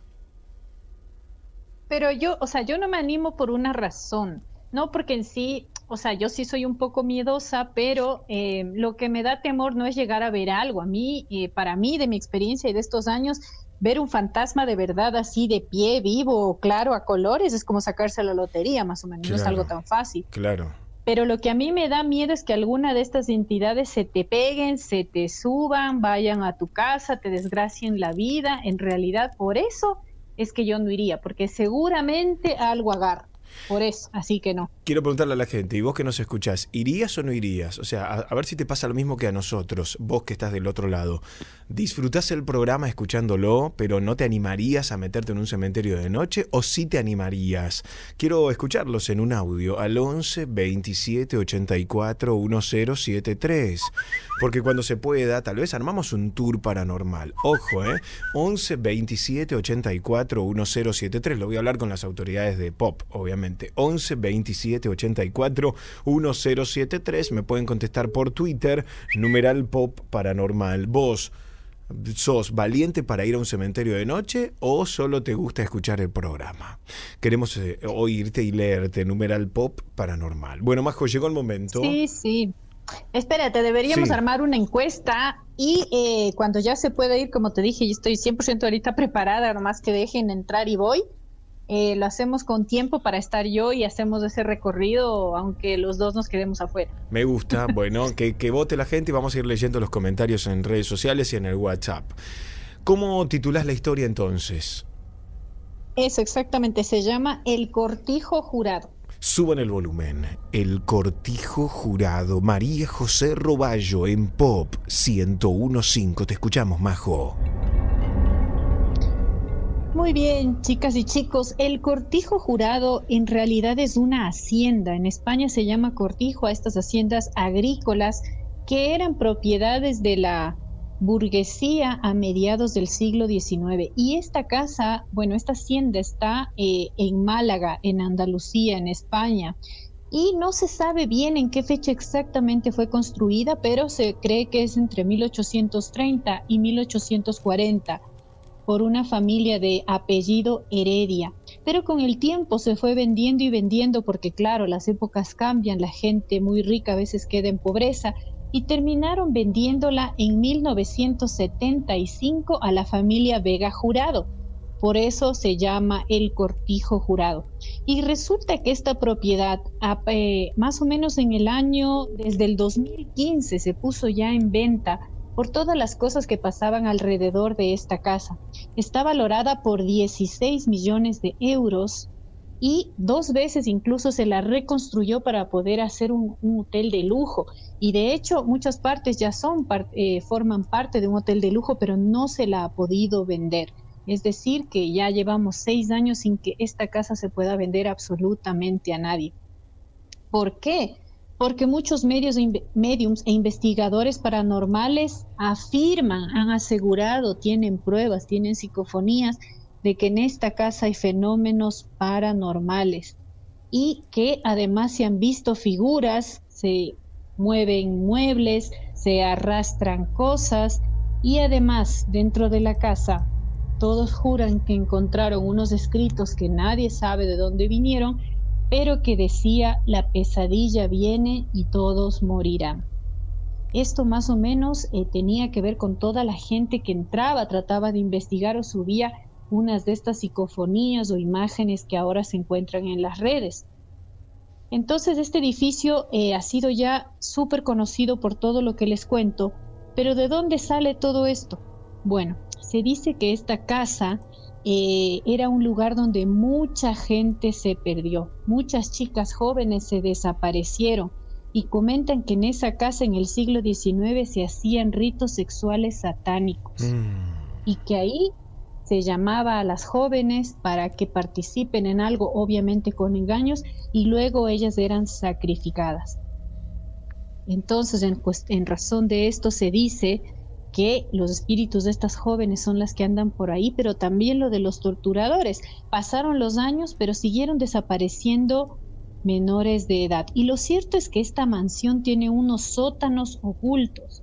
Y en estos sótanos ocultos se han encontrado máquinas de tortura. Y además estos sótanos están comunicados con otra hacienda, con otra hacienda que es vecina.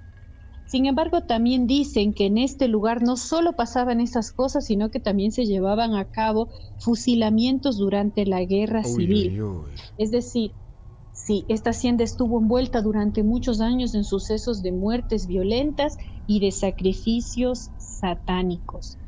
Y cuentan también que hace no mucho eh, un joven muchacho, un periodista de misterio aficionado, decidió ir y por sus propios medios investigar esta casa, ir con sus cámaras, ir con sus grabadoras y, tomar registro de todo lo que pasaba. Pero extrañamente cuando logró entrar, cayó inexplicablemente en un pozo de 30 metros de profundidad y quedó gravemente herido. Y de hecho tiene que pasar ahora su vida en una silla de ruedas. No solamente han pasado eso, sino que además se escuchan todo el tiempo voces. Se dice que eh, hay una persona que fue la que más logró captar psicofonías en esta casa, em, frases muy claritas, y de hecho las subió al YouTube, quizá las puedan encontrar ustedes, pero esta persona, después de haber subido este material, murió en extraños sucesos, es decir, ya no está eh, con nosotros. Y para finalizar, incluso se quiso utilizar esta casa para hacer un cortometraje, y este cortometraje tenía que ver con eh, las historias del mundo de Lovecraft, que sabemos ah, que siempre escribe cosas. Y dime. Héctor, sí, eh, tenía que ver con el mundo de Lovecraft, pero mientras estaban filmando hubo incendios accidentes, eh, cosas que se caían de la nada, se rompía eh, la escenografía y finalmente no pudieron terminar jamás este cortometraje. Así que toda esta es la historia que va alrededor de este cortijo jurado que actualmente está abierto al público y que si uno desea puede hacer un recorrido nocturno paranormal. María José Roballo en vivo en la Pop. Gracias, Majo, querida, por estar con nosotros. Eh, volvemos el lunes y ya normalizamos tus salidas lunes y miércoles. ¿Qué te parece? Sí, sí, Héctor, normalizamos las salidas. Nos escuchamos el lunes. Un abrazo a todos. Comenten siempre el contenido de arroba dama oscuridad en Instagram. Eh, hagan sus sugerencias y también se pueden comunicar siempre en arroba Josefa Roballo en el Twitter. Te mandamos un beso grande. Un beso, Héctor, que estés bien. Chau, chau. Hay sucesos que no podés explicar, pero sí contar. Mándanos tu historia por WhatsApp 11 2784 1073. La noche paranormal. Hola, soy Mónica de Monte Grande. Mi hija, cuando tenía seis años más o menos, eh, se iba corriendo y se saltaba a la cama y se tapaba la cabeza. Bueno, todos los días hacía lo mismo. Un día le digo, ¿qué pasa, mami? Le digo que hace todos los días lo mismo. No, nada, mesa. No, decime, le digo, ¿qué pasa? Dice, abajo de la cama hay un perro, un perro con orejas grandes y cara de hombre. Le digo, así, le digo, ¿y, que vos lo ves? Sí, sí, dice, está ahí abajo, todos los días se esconde ahí abajo. Entonces yo eh, puse la linterna, miré y no había nada. Entonces le digo, venía, mira que no hay nada. Agarró y le digo, vení, vení, no tengas miedo. Le digo, vení, vamos, mira. Miro, sí, sí, ahí está, ahí está, ahí está, me decía. Pobrecita, tenía un terror pobre. Y, y bueno, era, era, era algo que ella veía. Entonces, bueno, yo como soy creyente me puse a orar, a pedirle a Dios y bueno, eh, eso. Después le dije, mira a ver si está. Eh, no, no quería mirar. Digo, dale, mira. Me dice, bueno, miramos y, y dice, no, ya se fue. Me dice, ya se fue, ya no está más ahí. Así que, Mandanos tu historia por WhatsApp 11 2784 1073. En vivo, ¿quién habla por teléfono? Hola, buenas noches. Hola, ¿cómo te va, Héctor? ¿Cómo andas, loco? Eh, ¿Cómo te llamas? ¿Cómo andás? ¿Bien? Fernando. Hola, Fernando, bájame. Si estás escuchando la radio, baja el volumen y escuchame No, no por el teléfono. Ah, bueno, Fernando, querido. Estoy arriba del camión, pues. Bueno, sé que ¿Cómo te tenés va, una historia. Sí, Héctor. Bueno, mirá, te comento, ya hace rato que quería contarla, pero bueno. Eh, te comento, esta historia a mí esto me lo contó mi mamá, la vivió ella. En un momento estuvimos, eh, eh, mi abuelo tenía cáncer y bueno, se estaba tratando en el Posadas y bueno, lo llevaron de urgencia. Está mi tía, mi papá y mi mamá, ¿no? Y bueno, agarra, mi papá se fue a buscarle, entró, mi abuelo entró ahí a la sala, eh, mi papá dijo, bueno, voy a buscar la ropa porque lo van a dejar internado.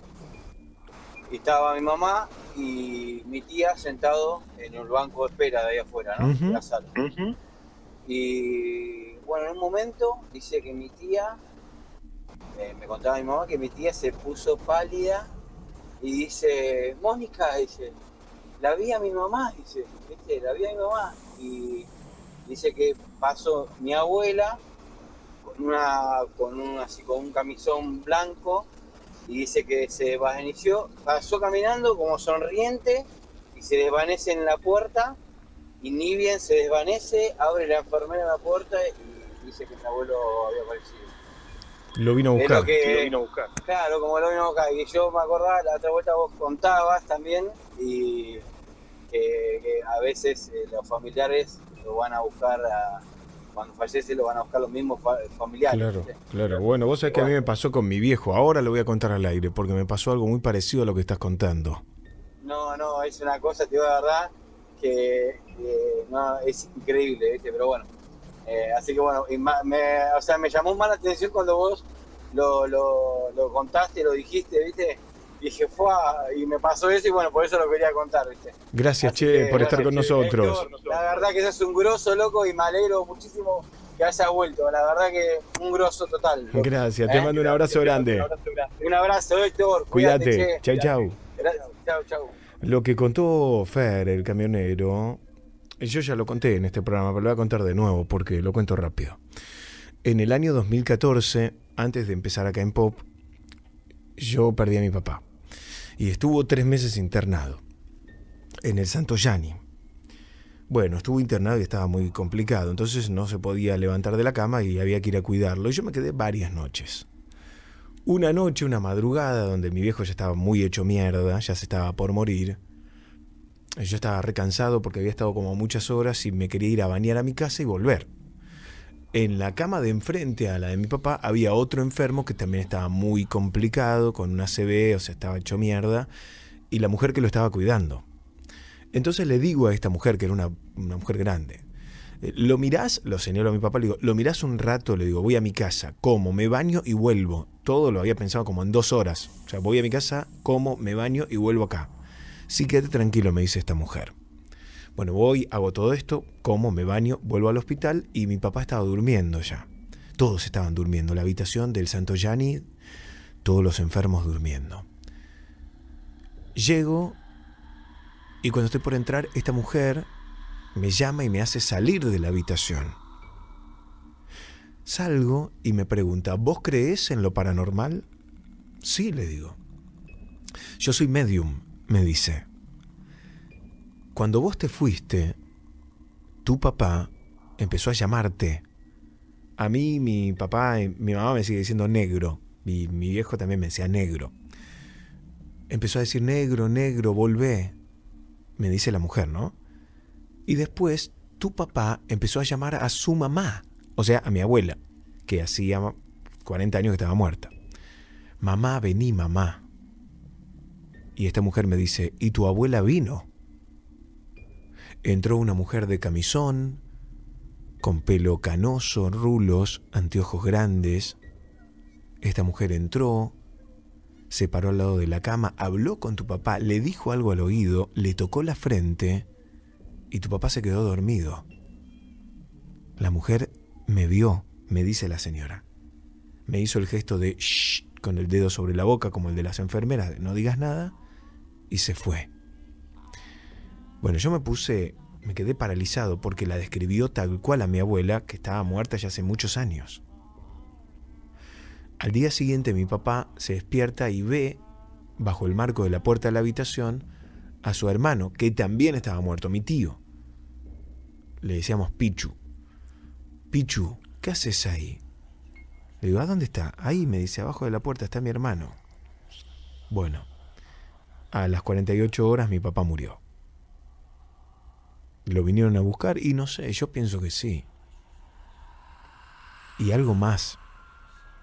Al lado de la cama de mi papá había otro enfermo con un que había tenido como 20 ACV y el chabón estaba arruinado, o sea, no se podía ni mover, ni hablar, ni nada.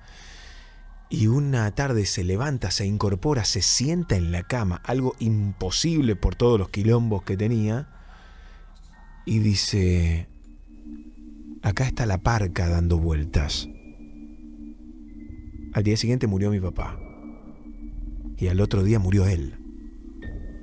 Así como te lo cuento, no le estoy agregando nada. ¿Se te puso la piel de gallina? Bueno, yo lo viví esto en primera persona. Viví muchos eventos paranormales en relación a la muerte de mi papá. Pero hoy les quería contar este. De los familiares que los vienen a buscar. Estás escuchando a Héctor Rossi hasta la medianoche, acá en la Pop 1015. Hasta la medianoche, escuchás a Héctor Rossi en la Pop 1015. Hola Héctor, ¿cómo estás? Buenas noches. Bueno, en este momento estoy viajando, salgo de casa por razones de laborales, pero me encantaría si por favor me podrías decir, ya que en este momento mi señora no pudo escuchar lo de las reencarnaciones, eh, todo el tema que estuviste hablando hace un ratito, porque tanto ella como mi hijo de 12 años, ella siempre tuvo la duda y siempre me di cuenta de que ella siente que está reencarnada en, es- en este cuerpo de hoy en día, pero que ella no- en otro momento fue un hombre. Eh, y mi hijo eh, está continuamente con todo el tema de la Segunda Guerra Mundial. Eh, es increíble cómo lo vive y cómo lo palpa como si fuera una persona que estuvo en la guerra. Es increíble, no se puede creer. Me encantaría que me puedas decir, no hace falta que sea por la radio, sino en privado, si me puedes hacer el favor, o contestarme acá por WhatsApp, donde yo puedo hacerlos escuchar eso el día de mañana o porque yo ya hasta mañana no vuelvo. Te lo agradezco de corazón, gracias y excelente, excelente el programa. Eh, es la primera vez que escucho un programa que se tocan todos estos temas y la verdad que realmente se lo toma de una manera muy seria. Excelente programa. Te felicito, Héctor. Historias reales, contadas en primera persona. La noche paranormal. Yo los, eh, les agradezco a cada uno de ustedes porque nos están ayudando a volver a ser número uno en la noche de la radio argentina. Y vamos por el Martín Fierro y vamos por todo, juntos. El programa yo lo cuelgo en YouTube, en mi canal, en Héctor Locutor. Anda a buscar la fecha del día del aire y ahí encontrás el programa para escuchar en YouTube. Héctor Locutor en mi canal de YouTube. Héctor Locutor, suscríbanse a mi canal de YouTube para no perderse ningún contenido. Llegó el momento de subir el volumen. Ya estoy listo. Ya estoy lista para la historia central estreno numeral pop paranormal. Todos en vivo y en Twitter. Ya estoy listo. Ya estoy lista para la historia central estreno numeral pop paranormal. Quiero leerlos también en mi Instagram, arroba Héctor Locutor OK. ¿Me estás siguiendo en Instagram? Bueno, empieza a seguirme ahora. Anda a tu teléfono y seguime en Instagram, arroba Héctor Locutor OK. Arroba Héctor Locutor OK tiene la tilde de verificación azul. Seguime en Instagram, arroba Héctor Locutor OK. A ver quiénes me empiezan a seguir ahora. Se, empieza a seguirme y mandame un privado. Héctor, te sigo desde ahora. Todos los que me siguen desde ahora en Instagram, arroba Héctor Locutor OK arroba Héctor Locutor OK en Instagram. Si todavía no me seguís en Twitter, arroba Héctor Locutor, arroba Héctor Locutor en Twitter, el clásico también está verificado, arroba Héctor Locutor. Seguime en Twitter. Hoy interactuamos como siempre con el numeral pop paranormal. Antes de la historia, ¿quién habla en vivo? Buenas noches. Buenas noches, eh, Marcos. Primero que nada, emocionado hace rato que estoy este, esperando eh, para que pueda, bueno, contarte mi historia, que de verdad yo no tengo uso de memoria porque tenía un año exactamente. Y en el pasillo donde se hacían los apartamentos de la casa donde yo vivía, ¿me escuchás ahí, Héctor? Sí, Héctor, ¿me perfecto. bien? Sí, perfecto. Este, quiero hacerlo lo más reducido posible, pero abarcar bien. Este, había una señora que tenía un lado un poco oscuro, se podría decir, en el sentido de que practicaba y cosas, se podría decir como que un mandismo en el lado de ese, ¿viste? esa rama. Y bueno, este, el tema es que pasado el tiempo y mi padre se hartó con mi madre, porque no podía yo descansar siendo bebé. Y ahí, entre todo eso, una cosa que hasta día de hoy está marcando en la puerta de la casa de mi padre, donde vive ahora mismo, es una cruz que marcó con una cuchilla cuando salió en un momento de discusiones y que de verdad mi padre a día de hoy me dijo, para que justamente te contara a vos, Héctor, y a toda la audiencia, este, la marca que quedó en la puerta, no sé, ni- con ninguna parte de pintura se puede ir. Una cruz puesta con un cuchillo. Perdón, De para, para muy- entender, esta mujer que practicaba, yo no quiero decir un bandismo porque el umbandismo no es algo este, malo, alguien, alguien que No. sea magia negra, alguien que hizo un trabajo en contra de tu viejo. Sí, es- es justamente eso es lo que iba a decir. El problema fue cuando a ella la habían denunciado y se quedó sola y la alejaron de la familia por temas psicológicos suyos, ¿viste? El problema que tenía mi padre con ella era que hablaba, gritaba, portonazo entre cosas y, como que si fuera una mujer que estuviera con problemas psicológicos, pero a la su vez algo de, de verdad, de película de terror, que te, te pone los pelos de punta, si te acordás. Y si ves la puerta, te lo digo, Héctor, ¿eh?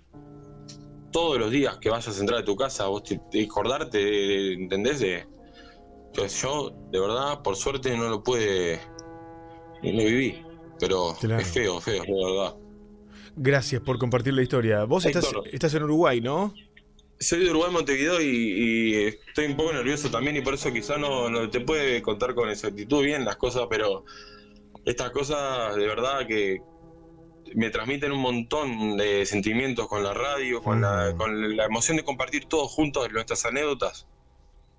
Esa es la idea, ¿viste? Esa es la idea. Te mando un abrazo Y grande. desde el otro lado del charco le mando un saludo a toda la Argentina y a todos los oyentes.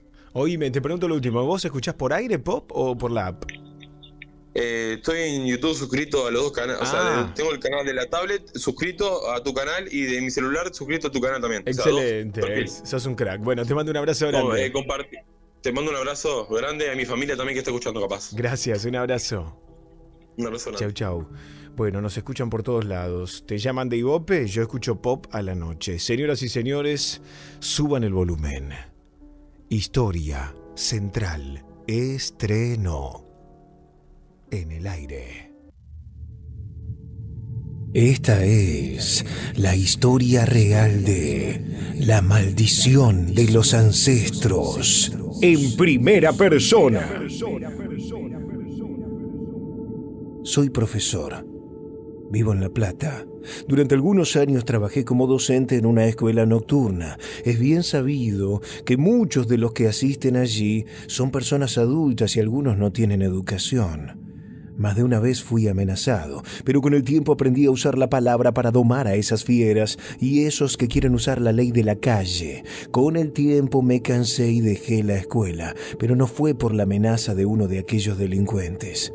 Esta es mi historia.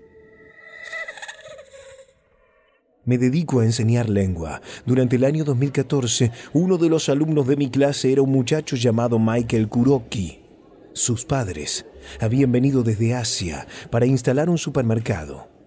Él asistía a la escuela para terminar sus estudios. Era callado, siempre se sentaba al fondo, ignorado por los demás. En cierta ocasión, yo estaba evaluando el análisis del matadero de Esteban Echavarría.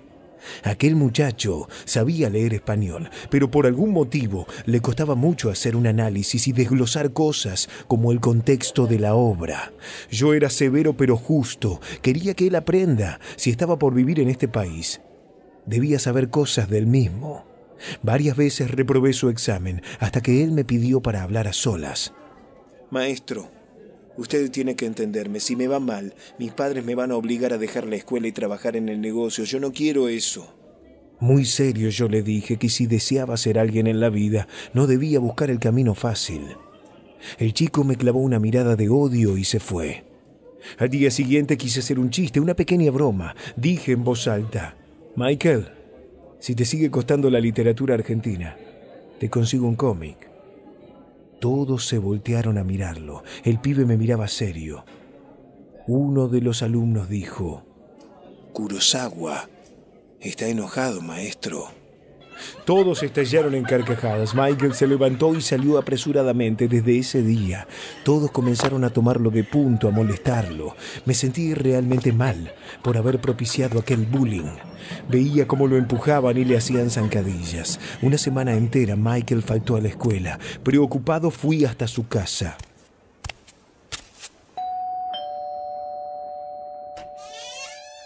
Me recibió su padre. Sin decir mucho me llevó hasta el cuarto del muchacho. Tendido en la cama estaba Michael, con el rostro hinchado y lleno de moretones.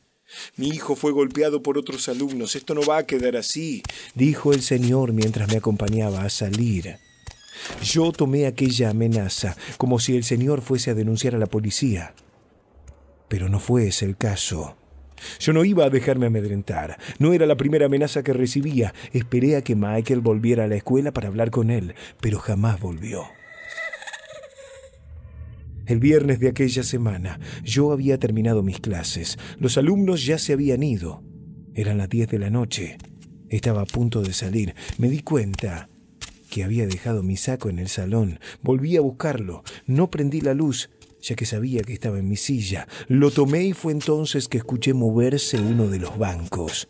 Miré hacia el fondo del salón. La poca claridad no me permitía ver quién era, pero pude distinguir una chica de cabello largo, sentada. Nena, ¿qué haces acá? Van a cerrar todo. ¿Sos María o quién? No hubo respuesta. Aquella persona comenzó a rasgar el pupitre con sus uñas y a reírse como loca. Muy enojado caminé hacia el fondo. Mira, no tengo paciencia, nena, vamos a tener que cerrar, ¿eh? Estaba sentada junto a la ventana, iluminada un poco por la luz del exterior. No era una muchacha, Era una señora mayor que vestía algo similar a un camisón blanco con flores. Tenía rasgos orientales y la piel arrugada como una tortuga de 200 años. Con dedos raquíticos y uñas largas, arañaba el pupitre hasta arrancarse las uñas. Salí corriendo del salón. Fui en búsqueda de Alberto, el portero. En ese momento éramos los únicos en la escuela. Se metió una vieja loca al salón de clase. El portero me dijo que hace algunas noches había pillado a una persona entrando, pero no pudo atraparla, ya que salió corriendo. Fuimos, pero allí no había nadie.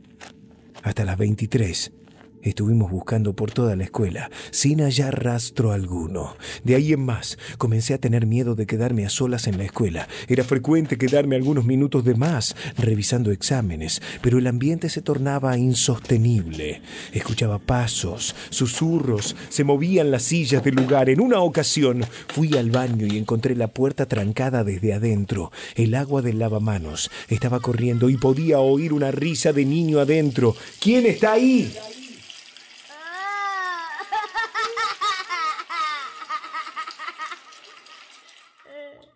Cerraron la canilla. La puerta se abrió lentamente. Unas manitos de niño, de color blancas, asomaron por el borde de la puerta. Huí despavorido. Lo peor de todo era que nadie más podía ver aquello.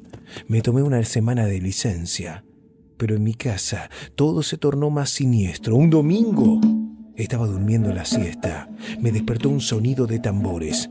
Abrí los ojos. A los pies de mi cama estaba un tipo con esa especie de pijama o ropa que usan los japoneses. Tocaba un pequeño tambor que tenía entre las manos. La piel era pálida. Lo más horripilante era su cuello. Lo tenía roto y con la cabeza colgando hacia el lado derecho. Le arrojé una almohada. Grité y me tapé con la sábana.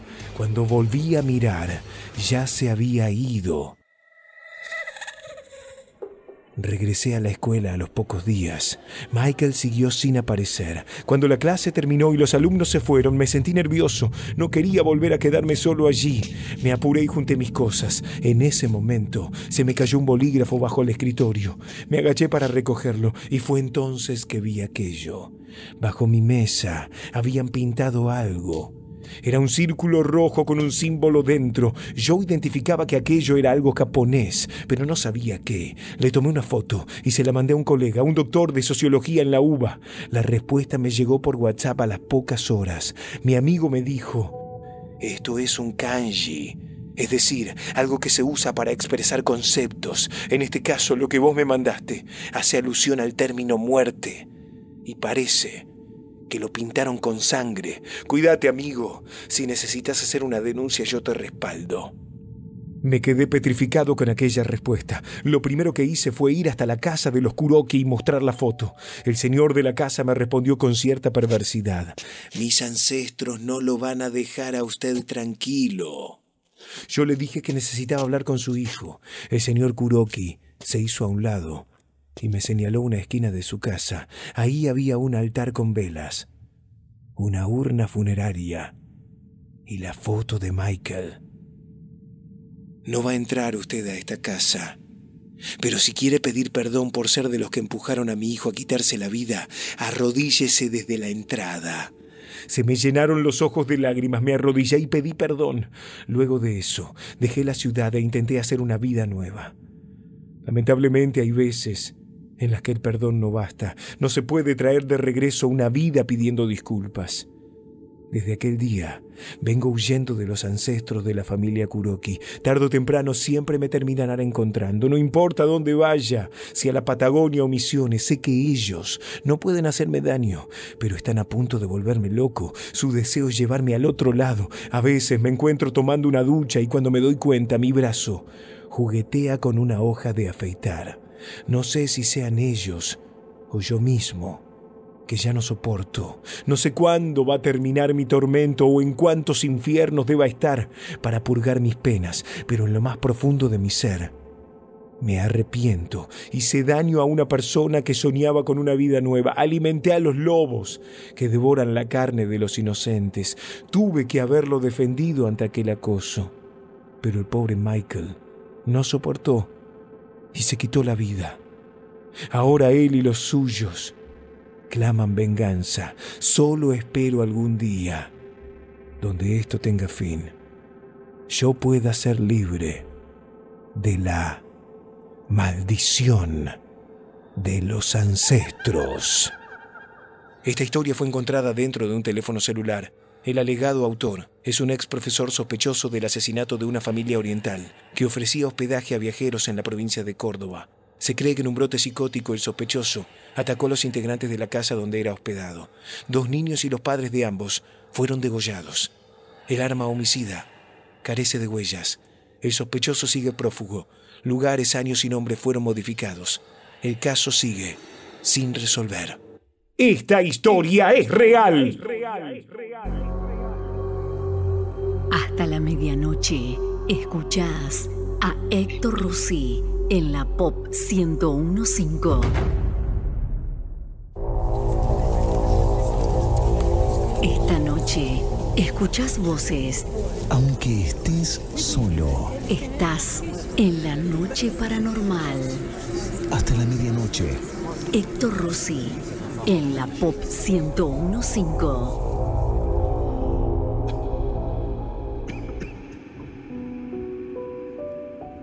Hola, soy Luca de San Miguel. Siempre lo escucho, siempre lo escucho. La radio Pop siempre lo escucho. Quería contar mi historia. Eh, es basada acá en San Miguel, el cementerio de San Miguel. Le digo a mi señora, digo, vamos a pasear a los chicos en el frente de la plaza de San Miguel, de cementerio de San Miguel. Vamos, a- hay una placita en el cementerio de San Miguel, vamos para, vamos a pasar con los chicos ahí al día. Era un día lindo, hermoso. Eh, le digo, vamos a pasar, y nos fuimos. Nos fuimos a pasar el día ahí en la Plaza San Miguel y yo me puse a tomar una cerveza. Y digo, y bueno, como siempre, viste que la cerveza te hacía el baño y enfrente estaba el cementerio. Le digo, aguantá que voy a preguntar si podía pasar el baño ahí en el cementerio. Y el portero de- de ahí del cementerio me dice, sí, podés pasar. Es público el baño. Y le, me dice, paso al baño Voy, paso al baño, hay un hombre sentado de traje negro, al lado para poner, para sacar el, el papel higiénico, ahí para poner la propina, donde uno pone la propina para sacar papel higiénico, eh, todo. Había un señor sentado al lado del donde, de donde poner, para sacar papel higiénico, había una, para poner propina. Y voy al baño, paso todo, Salgo de vuelta, el hombre estaba sentado ahí igual. Y voy, los pongo la propina, todo, el hombre me dice gracias. Voy para el portero de vuelta. ¿Quién es ese hombre que está sentado ahí en el baño pidiendo propina para sacar un papel higiénico? Le digo. Dice, no, no hay nadie ahí sentado, dice. No hay nadie, ningún hombre estás pidiendo propina para hacer. Ese, está solo ahí para que vos pongas y puedas sacar un papel higiénico. Pero no hay nadie sentado, me dice. Me asusté, vuelvo de vuelta, miro y no había nadie. Y ya voy asustado, me voy para la plaza, le digo, amor, vamos para casa, vamos para casa. Salí asustado, nunca más volví a la plaza esa, de San Miguel. Ahí enfrente del cementerio, nunca más dije. Nunca más. Nunca fui al cementerio más, nunca más. Mandanos tu historia por WhatsApp 11 2784 1073. ¿Qué tal? Buenas noches, Héctor Mona. Bueno, soy fan de ustedes desde que empezaron hace mucho tiempo. Em, solamente quería aportar un dato eh, o una corrección. El muchacho que era personal de seguridad del ENAM, la noche de los lápices fue en un colegio de La Plata. Lo que pasó en el ENAM fue una, un suceso que se llama la División Perdida, que fue toda una división, un curso eh, asesinado por en la época de la dictadura. Eso era, solamente quería avisar. Yo soy exalumno de, del ENAM. Que tengan buenas noches. ¿Cómo te va? ¿Cómo andan todos por ahí? Bueno, yo de nuevo acá, Charlie José de Paz, te dejo un video, un video que salió en la televisión, que es de una nota eh, Paulo Cablan, y en el minuto 8 Hola Héctor, soy Mara. Te cuento mi experiencia. Hace ya unos 15 años más o menos, em, estaba durmiendo, me fui a dormir con mi marido y yo duermo de costado, ¿no? Eh, hacia la derecha, con el brazo medio puesto debajo de la almohada. Eh, y me despierto sintiendo como que me están rozando el brazo. ¿Viste cuando alguien te, eh, te roza insistentemente, eh, que te molesta? Bueno, me despierto con esa sensación, todo oscuro obviamente, y veo a un metro mío, un metro y medio, como si fuera, para definirlo, tendría que decirte que es como un fantasma, ¿no? Veo eh, blanco, veo, ¿sí? Como tules blancos, como tipo de película, y la cara eh, no se le veía, negra era. El susto fue tan grande, tan grande, que eh, pegué un grito, pero el grito me salió no sé de dónde, porque fue algo muy fuerte. Yo creo que se despertaron todos los vecinos. Y en el momento, esto es lo interesante, en el momento que grito, esta figura fantasmagórica, si se quiere, pegó un salto hacia atrás, como si ella se hubiera asustado. Y se fue desvaneciendo. Bueno, imagínate que prendí la luz, prendí la tele, desperté a mi marido, eh, no me pude dormir, me puse un, en un canal de la tele donde pasaban cosas cómicas y no dormí en toda la noche. Bueno, esa fue mi experiencia. Chao. Contanos tu experiencia paranormal. 11 2784 1073. El WhatsApp de la Noche Paranormal. Hola Héctor, acá reportándome desde Ushuaia, Tierra del Fuego, a laburar. Hola, desde San Juan, acá reportándose Viviana. Hola Héctor, tras noche paranormal. ¿Por qué los que, Paran, los que para, dicen para. que sacaron una foto y salió alguna imagen, ¿por qué las cuelgan? eh? Las matan. La cuelgan a veces, loco. copado La cuelgan a veces, sí. Bueno, saludos. Santiago de Pacheco. esta. No. Ya estoy listo. Ya estoy lista. Sí, ¿me, está- me estás haciendo Ya burla? estoy todo cagado para escuchar la historia principal. No, no, la historia central. Hola Héctor Hola, querido, chiquis. acá desde Resistencia Chaco. pam. Todo el mi país, familia y Ushuaia, yo Chaco, todos, loco. Escuchamos la Pop Dale. 101.5 de 20 a Sí. 24. Aguante Héctor Rossi. No, me, me llamo Gustavo y mi señora Eva. Saludos, Saludos, Gustavo y Eva. El programa, papá, ¿no? Esta noche es tremendo. Menos Bueno, mal que bueno. existen ustedes. Gracias, loco. Vamos, Héctor, vamos. Sí. De 20 a 24 te escuchamos a vos, Rosy. Y Y, sí, vos, querido. pe, ponete las pilas y vos, pe, porque se te pudre, ¿eh? Bueno, bueno, bueno. Hola Héctor, ¿cómo estás, chupapija? Esta historia es real. Me imita muy bien, ¿eh? Qué nochecita para escuchar historias, ¿eh? Hola Me hace Héctor, reír ese chaval. reportándome desde Bernal, Sí. Ricardo. Muy bueno el programa, ¿eh? Toda la noche me hacen compañía. Éxito, Héctor. Paranormal.